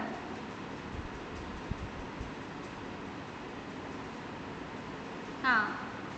anyone from the student अगर if I will show you the 60 marks of 60 student can you remember that आपको याद रहेगा या नहीं बताइए ठीक है is somebody from the class बताइए आप लोग yes ma'am ma'am we can store in different form like P D F form और screenshots to provide you know long time understanding मतलब फिर भी हम उसको नहीं देखना चाहते ना साठ स्टूडेंट का डेटा और याद भी नहीं रहेगा हमारे लिए वो जैसे इवन हाँ, हम टीचर हैं ना उसको भी नहीं याद रहता ना किसके कितने मार्क्स थे ठीक है लेकिन जब आपका रिजल्ट निकलता है आप क्या देखते हैं सच बताइए आप लोग जब आपका रिजल्ट डिक्लेयर होता है तो what you see what do you see अगर लिस्ट है आपके पास पूरी तो उसमें से क्या आपको मैम मोस्टली तो हम अपने मार्क्स देखते हैं उसके बाद जो टॉपर होता है उसके मार्क्स हाँ, देखते हाँ, हैं फिर हम अपनी स्किल्स uh, देखते हैं कि हम कहाँ पर मतलब स्टैंड कर रहे हैं हाँ ठीक है दैट इज इम्पोर्टेंट थिंग है ना हाँ ये हम देखते हैं कि हम टोपर कौन है वो गोट द या लोएस्ट किसके हैं ये देख सकते हैं या फिर ठीक है फेल कितने हैं पास कितने हैं तो ये क्या है ये इन्फॉर्मेशन हो गई फिर ठीक है this is the information for you who got the highest marks okay हमारे पास डेटा है सिक्सटी स्टूडेंट का लेकिन हमने उससे क्या इंटरप्रिटेशन निकाला सो so, सबका इंटरप्रिटेशन अलग अलग हो सकता है लेकिन मोस्टली हम क्या देखेंगे कि who got the highest marks who got the lowest marks और या फिर मेरे कितने मेंबर हैं तो ये वाला आपका ये हो गया आपका इन्फॉर्मेशन ठीक है और टीचर एनालिसिस कर सकता है कि हर साल कितने स्टूडेंट हैं जो फेल होते हैं या एवरेज मार्क्स कितने लोग पाते हैं या फिर एक एवरेज हम निकाल सकते हैं जो मोस्ट ऑफ द स्टूडेंट कितने मार्क्स पाते हैं एवरेज के ऊपर मार्क्स पाते हैं कि नहीं ब्लो बिलो एवरेज कितने लोग कितने स्टूडेंट को बिलो एवरेज मार्क्स मिलते हैं तो इस तरीके एनालिसिस हम कर सकते हैं इन्फॉर्मेशन है ये दिस इज़ द इन्फॉर्मेशन और ये हमें कब मिलेगी एवरेज हम कैसे कैलकुलेट करेंगे कि बिलो एवरेज है मार्क्स कितने स्टूडेंट के अबव एवरेज है तो हर साल मुझे एक डेटा बनाना पड़ेगा हर साल ईयर वाइज सेमिस्टर वाइज बनाऊंगी मैं जैसे ना और फिर देखूंगी कि एवरेज मार्क्स कितना है एवरेज मार्क्स मुझे निकालना होगा हर क्लास के लिए और उस एवरेज से कम कितने लोग के आ रहे हैं एवरेज से ज़्यादा कितने लोग के आ रहे हैं कितने स्टूडेंट्स हैं हाँ मैंने ठीक है so in that way I can have that information इस तरह से हम उसको ले सकते हैं ठीक है this way we can get the information लेकिन अब इस इन्फॉर्मेशन का हमें क्या क्या करना है यूज़ कहाँ पे करना है that it becomes the knowledge तब हम उस नॉलेज पार्ट पे आते हैं ठीक है इस तरह से तब मुझे कुछ नॉलेज हो पाएगी कि ओवरऑल जो पैटर्न है वो क्या है हर साल स्टूडेंट्स का लेकिन ये कितने सालों में होगा दो तीन साल का जब मैं एनालिसिस करूँगी then I will come to know ठीक है immediately I I can't tell you मेरे पास डेटा होना चाहिए ना इतने सालों का इस तरह से मैं बता और एनालिसिस करके तब मुझे पता चलेगा तो आईटी आईटी फील्ड में ये हमारी रिक्वायरमेंट भी है आप जो भी नॉलेज प्रोसेस आउटसोर्सिंग कंपनीज हैं वो क्या करते हैं डेटा लेते हैं they used to take data from hospitals और from different industries and they are providing the services वो एनालिसिस करके बताती हैं इंटरप्रटेशन देती है so in the other so data अगर हम डेटा को मीनिंगफुल वे में प्रेजेंट करते हैं it becomes information data information can be about facts things concept और anything relevant to the topic topic से रिलीवेंट है तो वो इन्फॉर्मेशन है ना हमारे लिए अब इसमें क्वेश्चन है जैसे ना वो हो जैसे आपको कोई बताएगा ना है ना वो दौड़ रहा है तो आप पूछेंगे कौन who is running who which when why what and how कोई कहीं पे जा रहा है कोई छोड़ के चला गया अरे मतलब कब गया वो है ना वैन वाई फिर दूसरा क्वेश्चन होगा क्यों why he has gone what happened how it happened ठीक है तो ये सारे क्वेश्चंस होते हैं उनके जो आंसर्स मिलते हैं आ, इसको हम कहते हैं इंफॉर्मेशन और डेटा डेटा भी मिलता है इससे डेटा मिलेगा फिर उसके प्रोसेस करते हैं तो डेटा तो हमारे क्या है कैरेक्टर इमेजेस हो गई फ़ोटो हम देखते हैं तो हमें कुछ समझ में आता है नंबर्स और जो भी आप रास्ते में ऑब्जर्व करते हैं जैसे ना आई से आँखों से देखते हैं छू के बताते हैं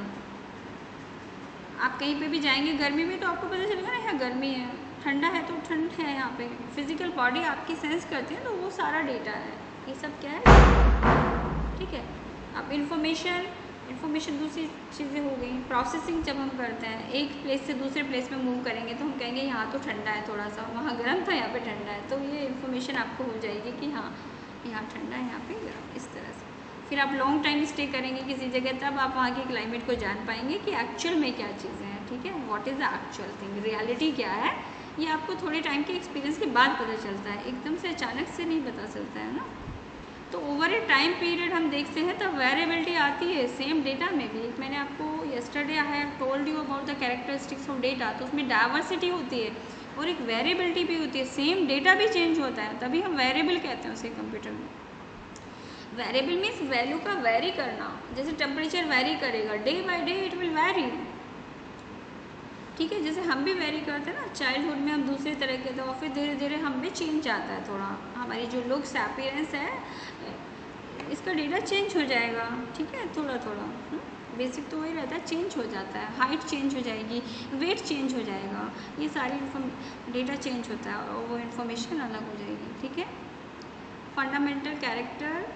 और इसके कुछ नोशन हैं जो कि साइंटिस्ट ने दिए थे गर्सन हैं केयर तो इन्होंने दिए थे notion one two three four these are very important notion तो अब बहुत सारी चीज़ें हमने पढ़ी हैं दैट वॉज़ टू कॉम्प्लेक्स और ये हो सकता है लेकिन आप उसको रीड करेंगे थोड़ा सा तो समझेंगे that was the important one तो कुछ नोशन है अगर हम इनको समझ लें तो that will be easy notion one क्या है information is anything that an agent can sense detect observe perceive for और anticipate so for everybody it is different agent अलग होगा तो उसका सेंस डिटेक्ट ऑब्जर्व करना ये सब हो जाएगा अलग अलग एंटिसिपेशन हमारा अलग होगा ऑब्जर्व करें ऑब्जर्व तो हमने किया देखा एक ये suppose there are the three different person और उसी सेम इवेंट को they will look in the different observe करेंगे वो लेकिन किसी सबको अपना अपना दिखेगा ना जिसको जिसमें इंटरेस्ट होता है वो चीज़ दिखाई देती है तो ऑब्जर्वेशन भी कई बार जो है वेरी कर जाता है ठीक है इसीलिए that that is why in the scientific experiment कोई भी थ्योरी कब मानी जाती है जब when it is repeated by the more than ten scientist ठीक है तब हम उसको कोई थ्योरी मानते हैं कि दस लोगों ने वो रिपीट किया है टेन साइंटिस्ट उसको सेम ऑब्जर्वेशन अगर वो दे रहे हैं they are able to give the same observation और same thing they are telling तो हम उसे कहते हैं थ्योरी और फिर वो बनती है लॉ बन जाती है जैसे प्रिंसिपल प्रिंसिपल कब बनती है जैसे कि बहुत ज़्यादा और भी ज़्यादा उसे अप्रूवल मिल जाता है तो प्रिंसिपल हो जाती है लॉ बन जाती है इफ़ इट इज़ यूनिवर्सल जैसे चॉल्स लॉ बॉयस लॉ तो जब सभी ने मान लिया और कोई उसका एक्सेप्शन ही नहीं मिला if there no exception then it is called law law वो तभी बनता है जब सभी लोग कहें कि हाँ ऐसा ही होता है हमने भी हमने भी ये प्रैक्टिकल किया we have done this practical और ये फिर वो लॉ बन जाता है तो ये साइंटिफिक एक्सपेरिमेंट का तरीका है ठीक है और कुछ चीज़ें तो आप भी करते हैं प्रैक्टिकल डेली तो आप भी बता सकते हैं ना खाना आप भी खाते हो नहाते भी हो सारे काम करते हो तो आपके एक्सपीरियंस से अपना वो चीज़ें आप बता सकते हैं कोई भी थ्योरी हम दे हमारे अंदर रहती है मतलब हम समझते हैं उन चीज़ों को तो हमारा एंटिसिपेशन होता है तो वो लॉ बन लॉ में सबका एक यू सबका एक्सपीरियंस सेम है तो वो लॉ है जिसका भी ज़्यादा प्रोवेल है ना प्रिंसिपल और लॉ है और थ्योरी मतलब जैसे कि कुछ लिमिटेड लोगों ने दिया है तो वो थ्योरी हो जाती है ठीक है मोर देन टेन पीपल उन्होंने उस थ्योरी को अप्रूव किए तो वो थ्योरी है ठीक है इस तरह से तो नोशन है ये कि एजेंट जो है वो सेंस करता है डिटेक्ट करता है observe perceive for and this notion is in accordance with Wiener इस साइंटिस्ट है when the information is seen as just so arrangement a defined structure as opposed to randomness से अलग है वो and it can be measure in bits तो हम I T में bits में ऑब्जर्व कर रहे हैं नोशन टू क्या है agent is the description of an entity जैसे डेटाबेस में एंटिटी मतलब जो भी ऑब्जेक्ट है whatever we see in air surrounding like bottle chair table that everything exist in the world that is entity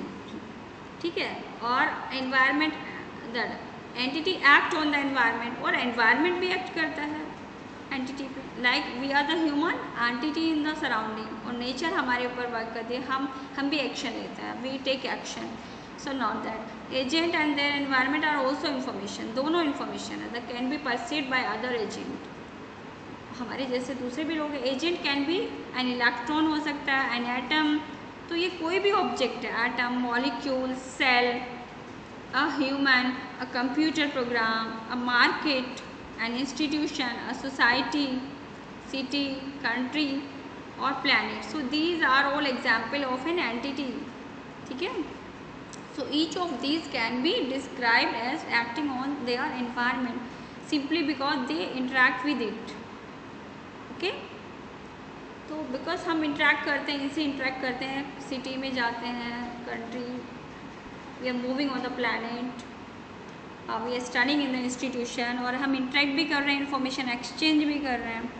electrons are moving in the atom तो ये notion two है notion three क्या है the environment of an agent consist of all information interactive with जो भी interaction होता है interaction भी करेगा वो agent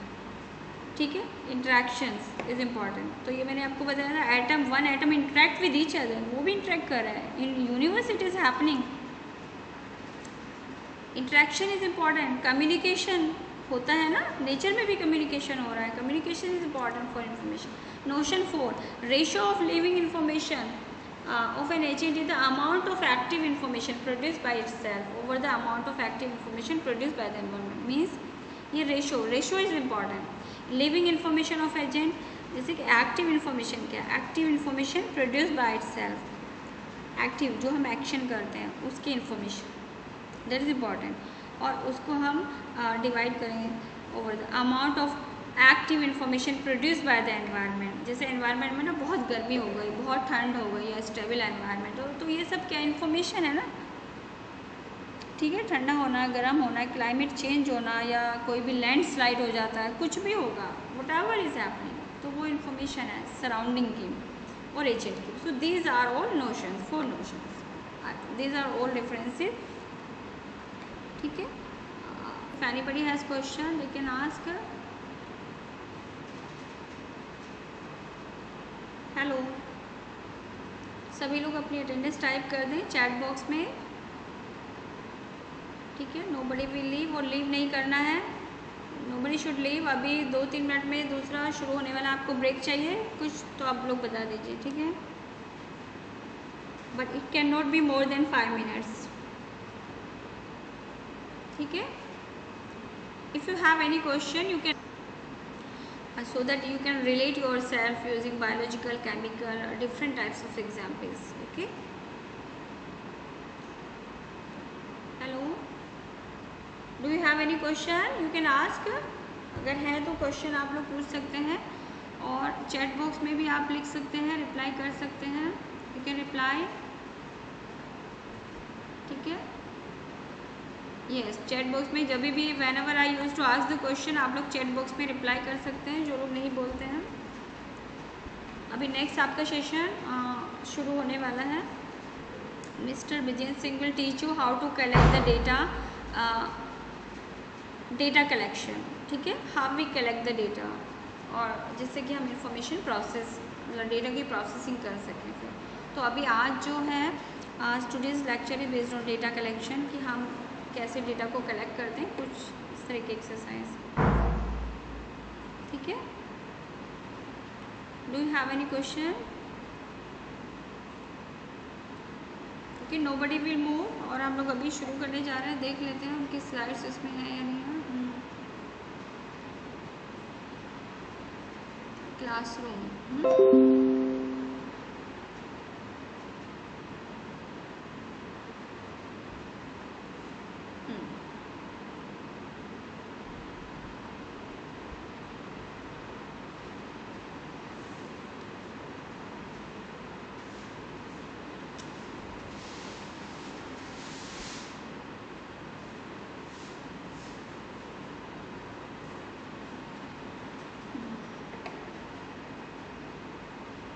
Okay, this is the next lecture.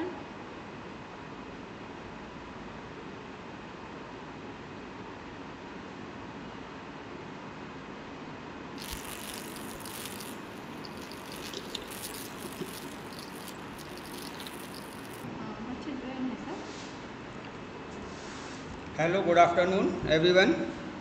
My voice is clear? Hello. Okay study some problems so हम लोग सही से प्रैक्टिकल uh, सेशन uh, कर नहीं पाए थे so today we perform everything is very well manner okay so study we discuss की what is data and what are the sources of data so simply you know very well कि data है क्या और data के main sources क्या हैं ठीक है because a large amount of data is available उसको हमें कलेक्ट कैसे करना है और उसके बेसिक सोर्सेज क्या क्या हैं today we analyse these things so you know very well कि डाटा क्या है मैंने आपको कल ही बताया था अगर वी डिस्कस कि डाटा इज़ अ कलेक्शन या information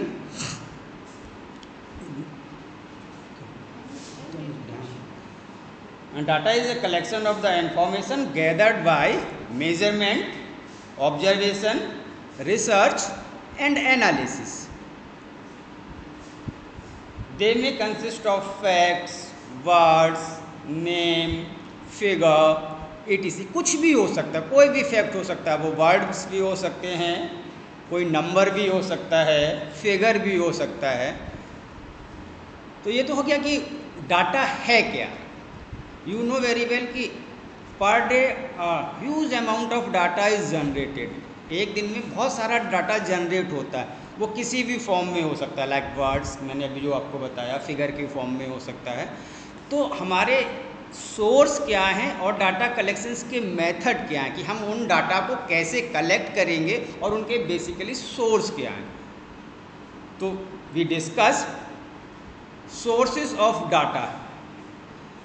there are different sources of data that are use in data mining process अगर हम डाटा माइनिंग प्रोसेस की बात करें तो जो सोर्सेज हैं वो हमारे मैंने आपको बताया आपको कि flat file databases it is a source relational databases it is also source of data data warehouse transitional database multimedia database special special database, time series और W W these all are the sources जिससे कि हम क्या कर सकते हैं data को collect कर सकते these are the data bases as amount of data is available in data bases अब ये हो गया कि डाटा है क्या डाटा ये तो हो गया these are the sources of use in a data mining process but maximum student in biological background या chemical engineering so if you need the protein या केमिकल मॉलिक्यूल्स तो उस बेसिस पे व्हाट आर द सोर्सेज हम biological sources की अगर बात करें तो हमारे बायोलॉजिकल सोर्सेज क्या होंगे बायोलॉजिकल डाटाबेस क्या होंगे जिससे हम उस डाटा को कलेक्ट कर सकें और एनालाइज कर सकें so biological database me already study we already towards basically uh nucleotide database और प्रोटीन डाटाबेस अगर हम बायोलॉजिकल बेसिस पे देखें तो या तो हम न्यूक्लियोटाइड्स मीन्स बेस पे जी, जीनोम पे एनालिसिस करेंगे या प्रोटीन पे करेंगे means amino acid so these are the biological database if you need a nucleotide sequence अगर आपको किसी न्यूक्लियोटाइड सीक्वेंस की ज़रूरत है मैंने कहा कि आप जैन बैंक एक निक्लोटाइड डाटाबेस है वहाँ पर जाइए और जैन बैंक से कोई भी एक जीन का डाटा रिट्राइव करिए तो पहले तो ये हो गया कि सोर्स क्या है सोर्स हमारा हो गया जैन बैंक या D D V J database अब उस डाटाबेस से how to retrieve the data how to collect मैंने स्टडी कुछ प्रैक्टिकल सेशन में आपको कुछ पीपीटी दिखाई थी how many students download the data किसी स्टूडेंट ने किसी भी सोर्स से डाटा डाउनलोड करने की कोशिश की hello my voice is clear hello hello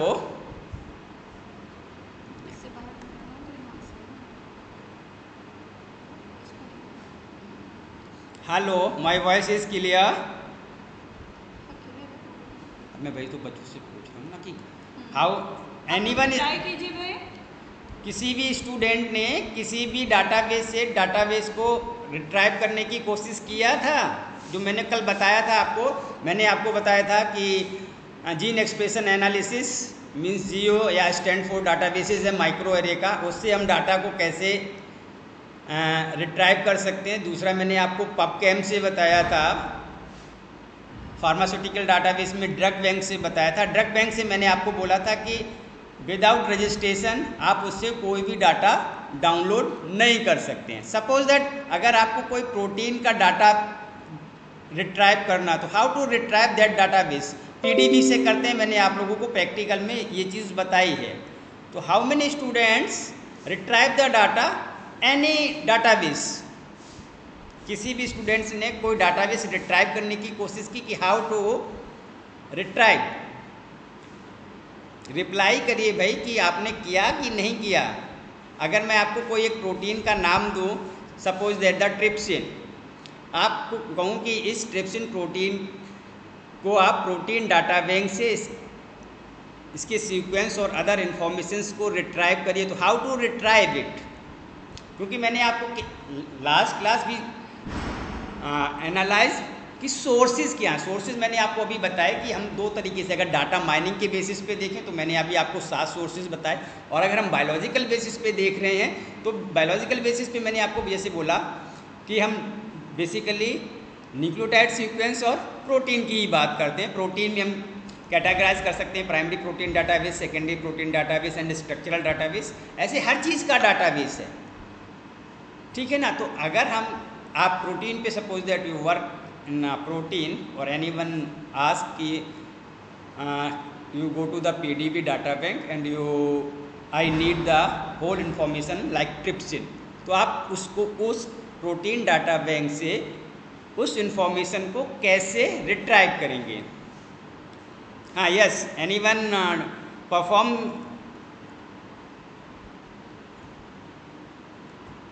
आप लोगों में से किसी ने परफॉर्म करके देखा था कि हम डाटा को कैसे रिट्राइव कर so today we discuss a data collection आज हमको जो डिस्कस करना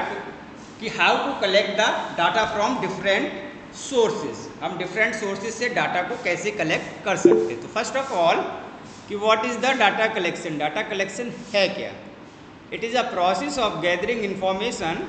from all the relevant sources to find a solution to the research problems ye process hai it helps to evaluate the outcome of the problem so this is a what is data collection data collection hai kya ye एक process है जिसमें हम information को gather करते हैं for the relevant source to find the solution of the research problem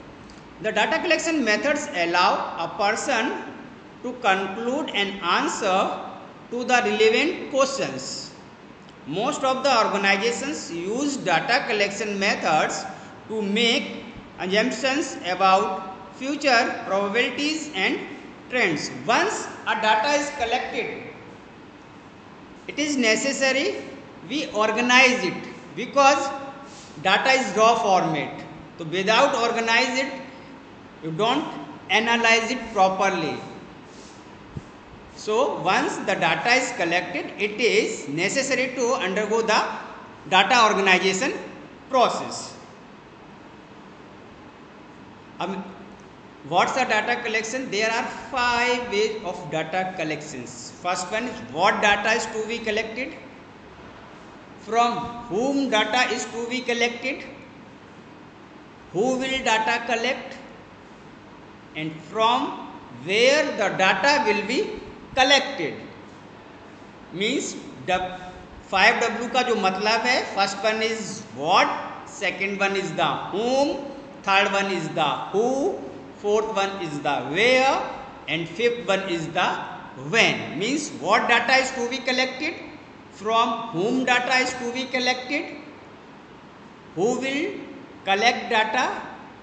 from where the data will be collected and last one is when is the data collected so there has five w's of data collection so you know very well panch w ka jo matlab kya hai first one is the what second one is the whom third one is the who fourth one is the where and fifth one is the when depending on the data types मैंने अभी आपको जैसे बताया था कि data कई तरीके का हो सकता है the data collection method is divided into the two categories data type के बेसिस पे हम डाटा कलेक्शन मेथड्स को दो कैटेगरीज में डिवाइड कर सकते हैं primary data collection method and secondary data collection method so first one is primary data collection method primary data और raw data is the type of information that is obtained directly from the first hand source through like experiment you perform any experiment and you generate a data means first hand वो data आपके अलावा किसी और ने नहीं पहला source किया तो वही चीज़ यहाँ पे है कि primary data और raw data is a type of information that is obtained directly from the first hand source through experiment survey जैसे हाउस हाउस होल्ड सर्वे जो होता है जब इलेक्शंस आते हैं तो घर घर जाके 19 एवब्स के जो सर्विस होते हैं वो हमारा क्या sir it is the data collection observations the primary data collection method is further divided into two types quantitative data and qualitative data what is the quantitative data and what is the qualitative data Mamta में already discuss these things Uh, if uh, simply ki what is the quantitative data you simply told कि it is expressed in number quantitative data को हम numbers में express कर सकते हैं for example units हो सकती है प्राइस हो सकते हैं rate of changes and disuse वगैरह दिज और are the examples of the quantitative data अगर हम क्वालिटेटिव डाटा की बात करें तो qualitative data is expressed as words उसको हम वर्ड्स में एक्सप्रेस कर सकते हैं फॉर एग्जाम्पल स्टेटमेंट हो सकता है कोई भी पैराग्राफ्स हो सकता है स्टोरीज हो सकती हैं so many things included in a qualitative data base second one is the secondary data collection method it is a data collected by someone other than the actual user. It means that the information is already available and someone analyse it जैसे मैंने आपको पहले ही बताया था कि किसी भी database में जो पहले से इंफॉर्मेशन अवेलेबल है according you needs you go to that database and type your requirement needs and you access the secondary database includes magazines newspapers books journals publish और unpublish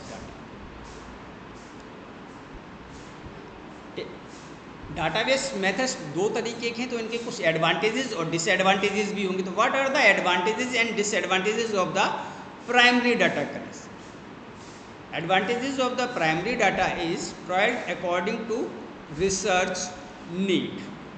the researchers can determine exactly what data will be collected and identify the specific tool that will be used इसमें क्या है कि researcher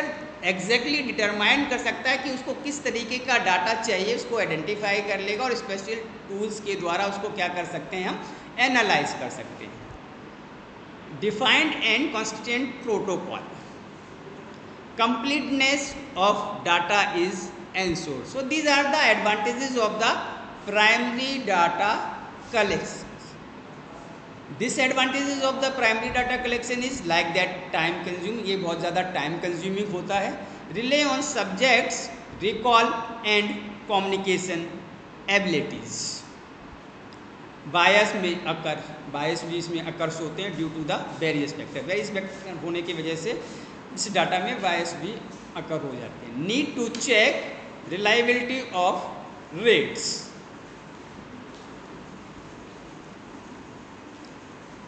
secondary data collection method it advantages of secondary data it is easier and quicker ये बहुत easy होता है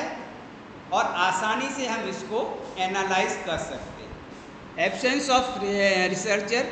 biases economical and time saving ये time saving होता है because you know very well कि इसमें डाटा पहले से अवेलेबल होता है according you needs you go to the database and type your uh, uh, query and search these things so it is a time saving participants cooperations may not be necessary and it eliminates the biases related participant awareness lekin kuch disadvantages bhi hote hain secondary data ke wo kya hain accuracy completeness and reliability depend upon the original individual collecting of data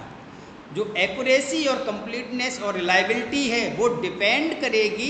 original individual collecting of data के ऊपर कि वो data कितना correct है उसी basis पे उसकी accuracy completeness and reliability जो है वो निर्भर करती है may not be suitable for answering current research questions आप इसमें करंट रिसर्च क्वेश्चन आपके मन में जो करंट कोई क्वेश्चन आता है वो उसका सुटेबल जवाब नहीं देगा क्योंकि उसमें डाटा पहले से स्टोर है you type your query after some time he will answer but current it not be give any answer so may not be suitable for answering current research question miss data and inaccuracy are common जो data हमारा already data basis में available है हो सकता है उसमें कुछ चीज़ें मिस हों and inaccuracy are also common biases are commonly expected it is also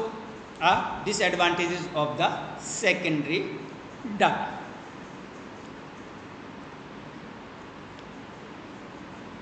There are many methods of gathering informations and a wide variety of information sources like that questionnaires, interviews, direct observation, documents and other materials, focus group interviews, case studies, diaries, critical incidents. इन ये all are the sources जिससे आप जो है data को analyse कर सकते हैं what do you mean by tools this is the simple how to data is collected data is collected in two ways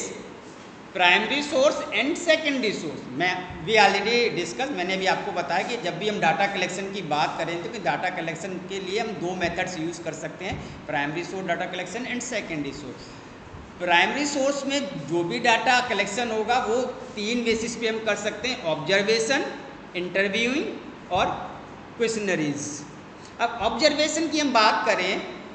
तो कई सारे एग्जाम्पल्स हैं suppose that as a teacher we organize a quiz या we organize I organize a workshop तो how many participants is present and absent so ये हम क्या कर सकते हैं ये हम ऑब्जर्व कर सकते हैं और उस बेसिस पे उसकी एनालिसिस कर सकते हैं तो here is the observation means participants कितने हैं और नॉन पार्टिसिपेंट मीन्स कितने पार्टिसिपेट नहीं किए इंटरव्यूइंग जब हम इंटरव्यूइंग की बात करते हैं तो इसको हम दो तरीके से एनालाइज कर सकते हैं स्ट्रक्चर्ड और unstructured sources and last one is the questionnaires questions it is the very good database for the data collection and second one is the secondary source secondary source जैसे अभी आप मैंने को मैंने बताया कि जैसे secondary source में हमारे documents हो सकते हैं वो चाहे story हो चाहे research paper हो चाहे published और unpublished data हो here is mention government publications earlier research paper so many things we include here So we discuss uh, some uh, two types of data collections method पहले types देखते हैं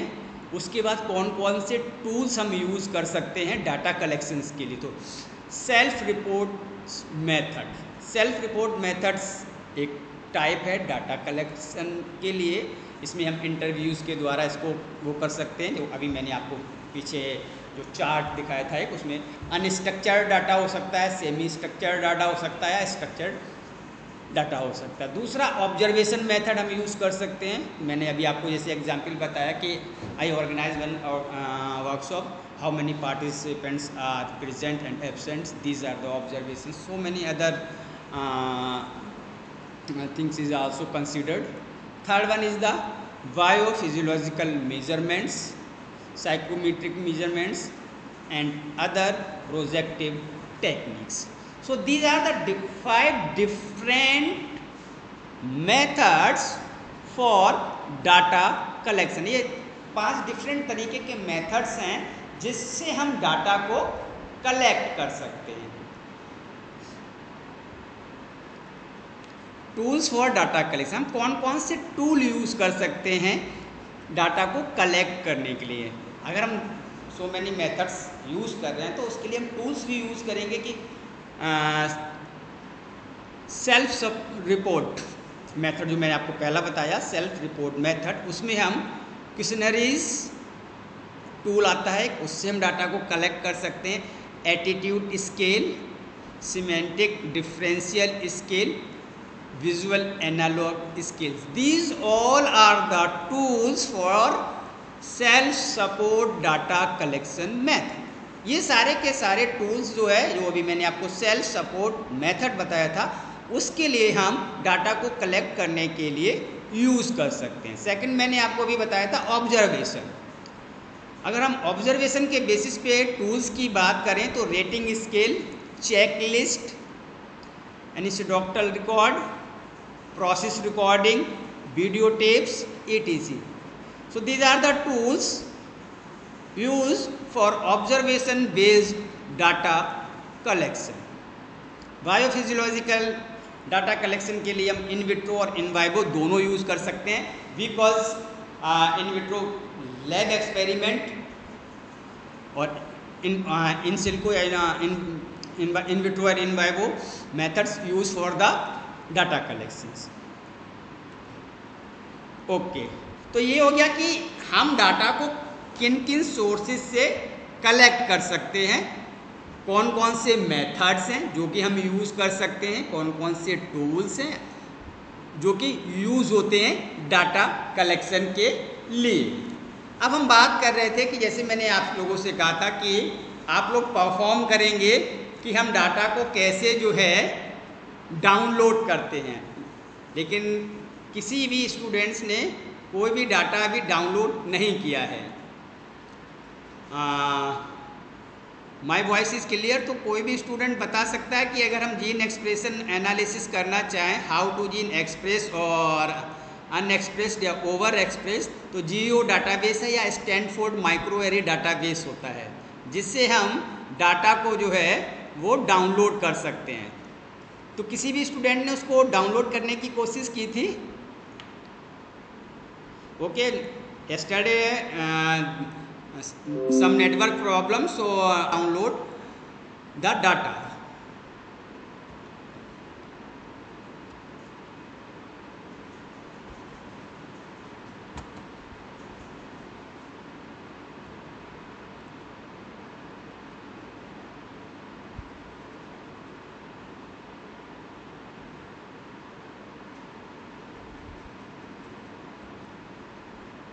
First of all, you go to the Google and type the GEO microarray data.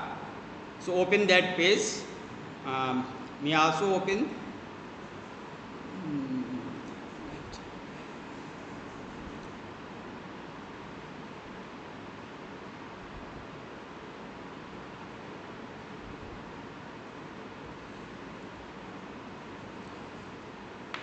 some network problem is there so मैं आपको online perform करके नहीं दिखा पा रहा हूँ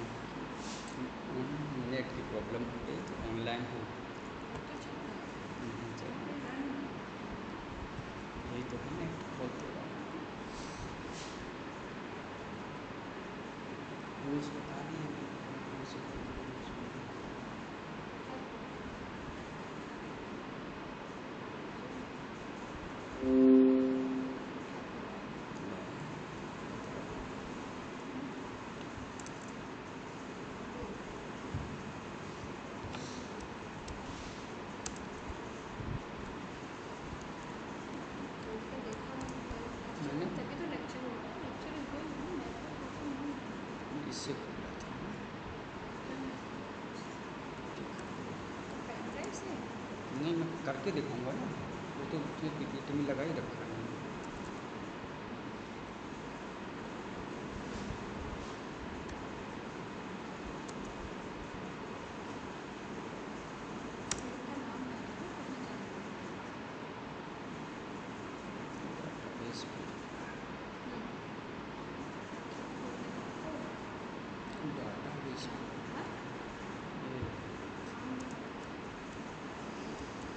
an expression analysis data is na geo page जियो ना जियो हाँ तो ऐसी भी आ जाए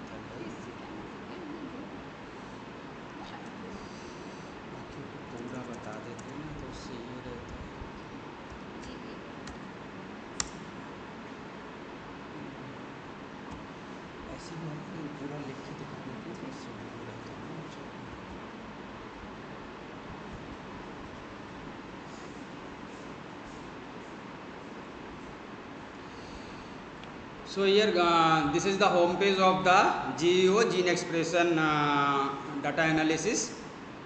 you go to the data sets here is data sets is available 4348 you click here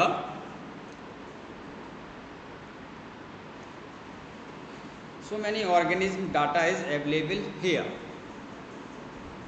you scroll it and so uh, you click any one and download the data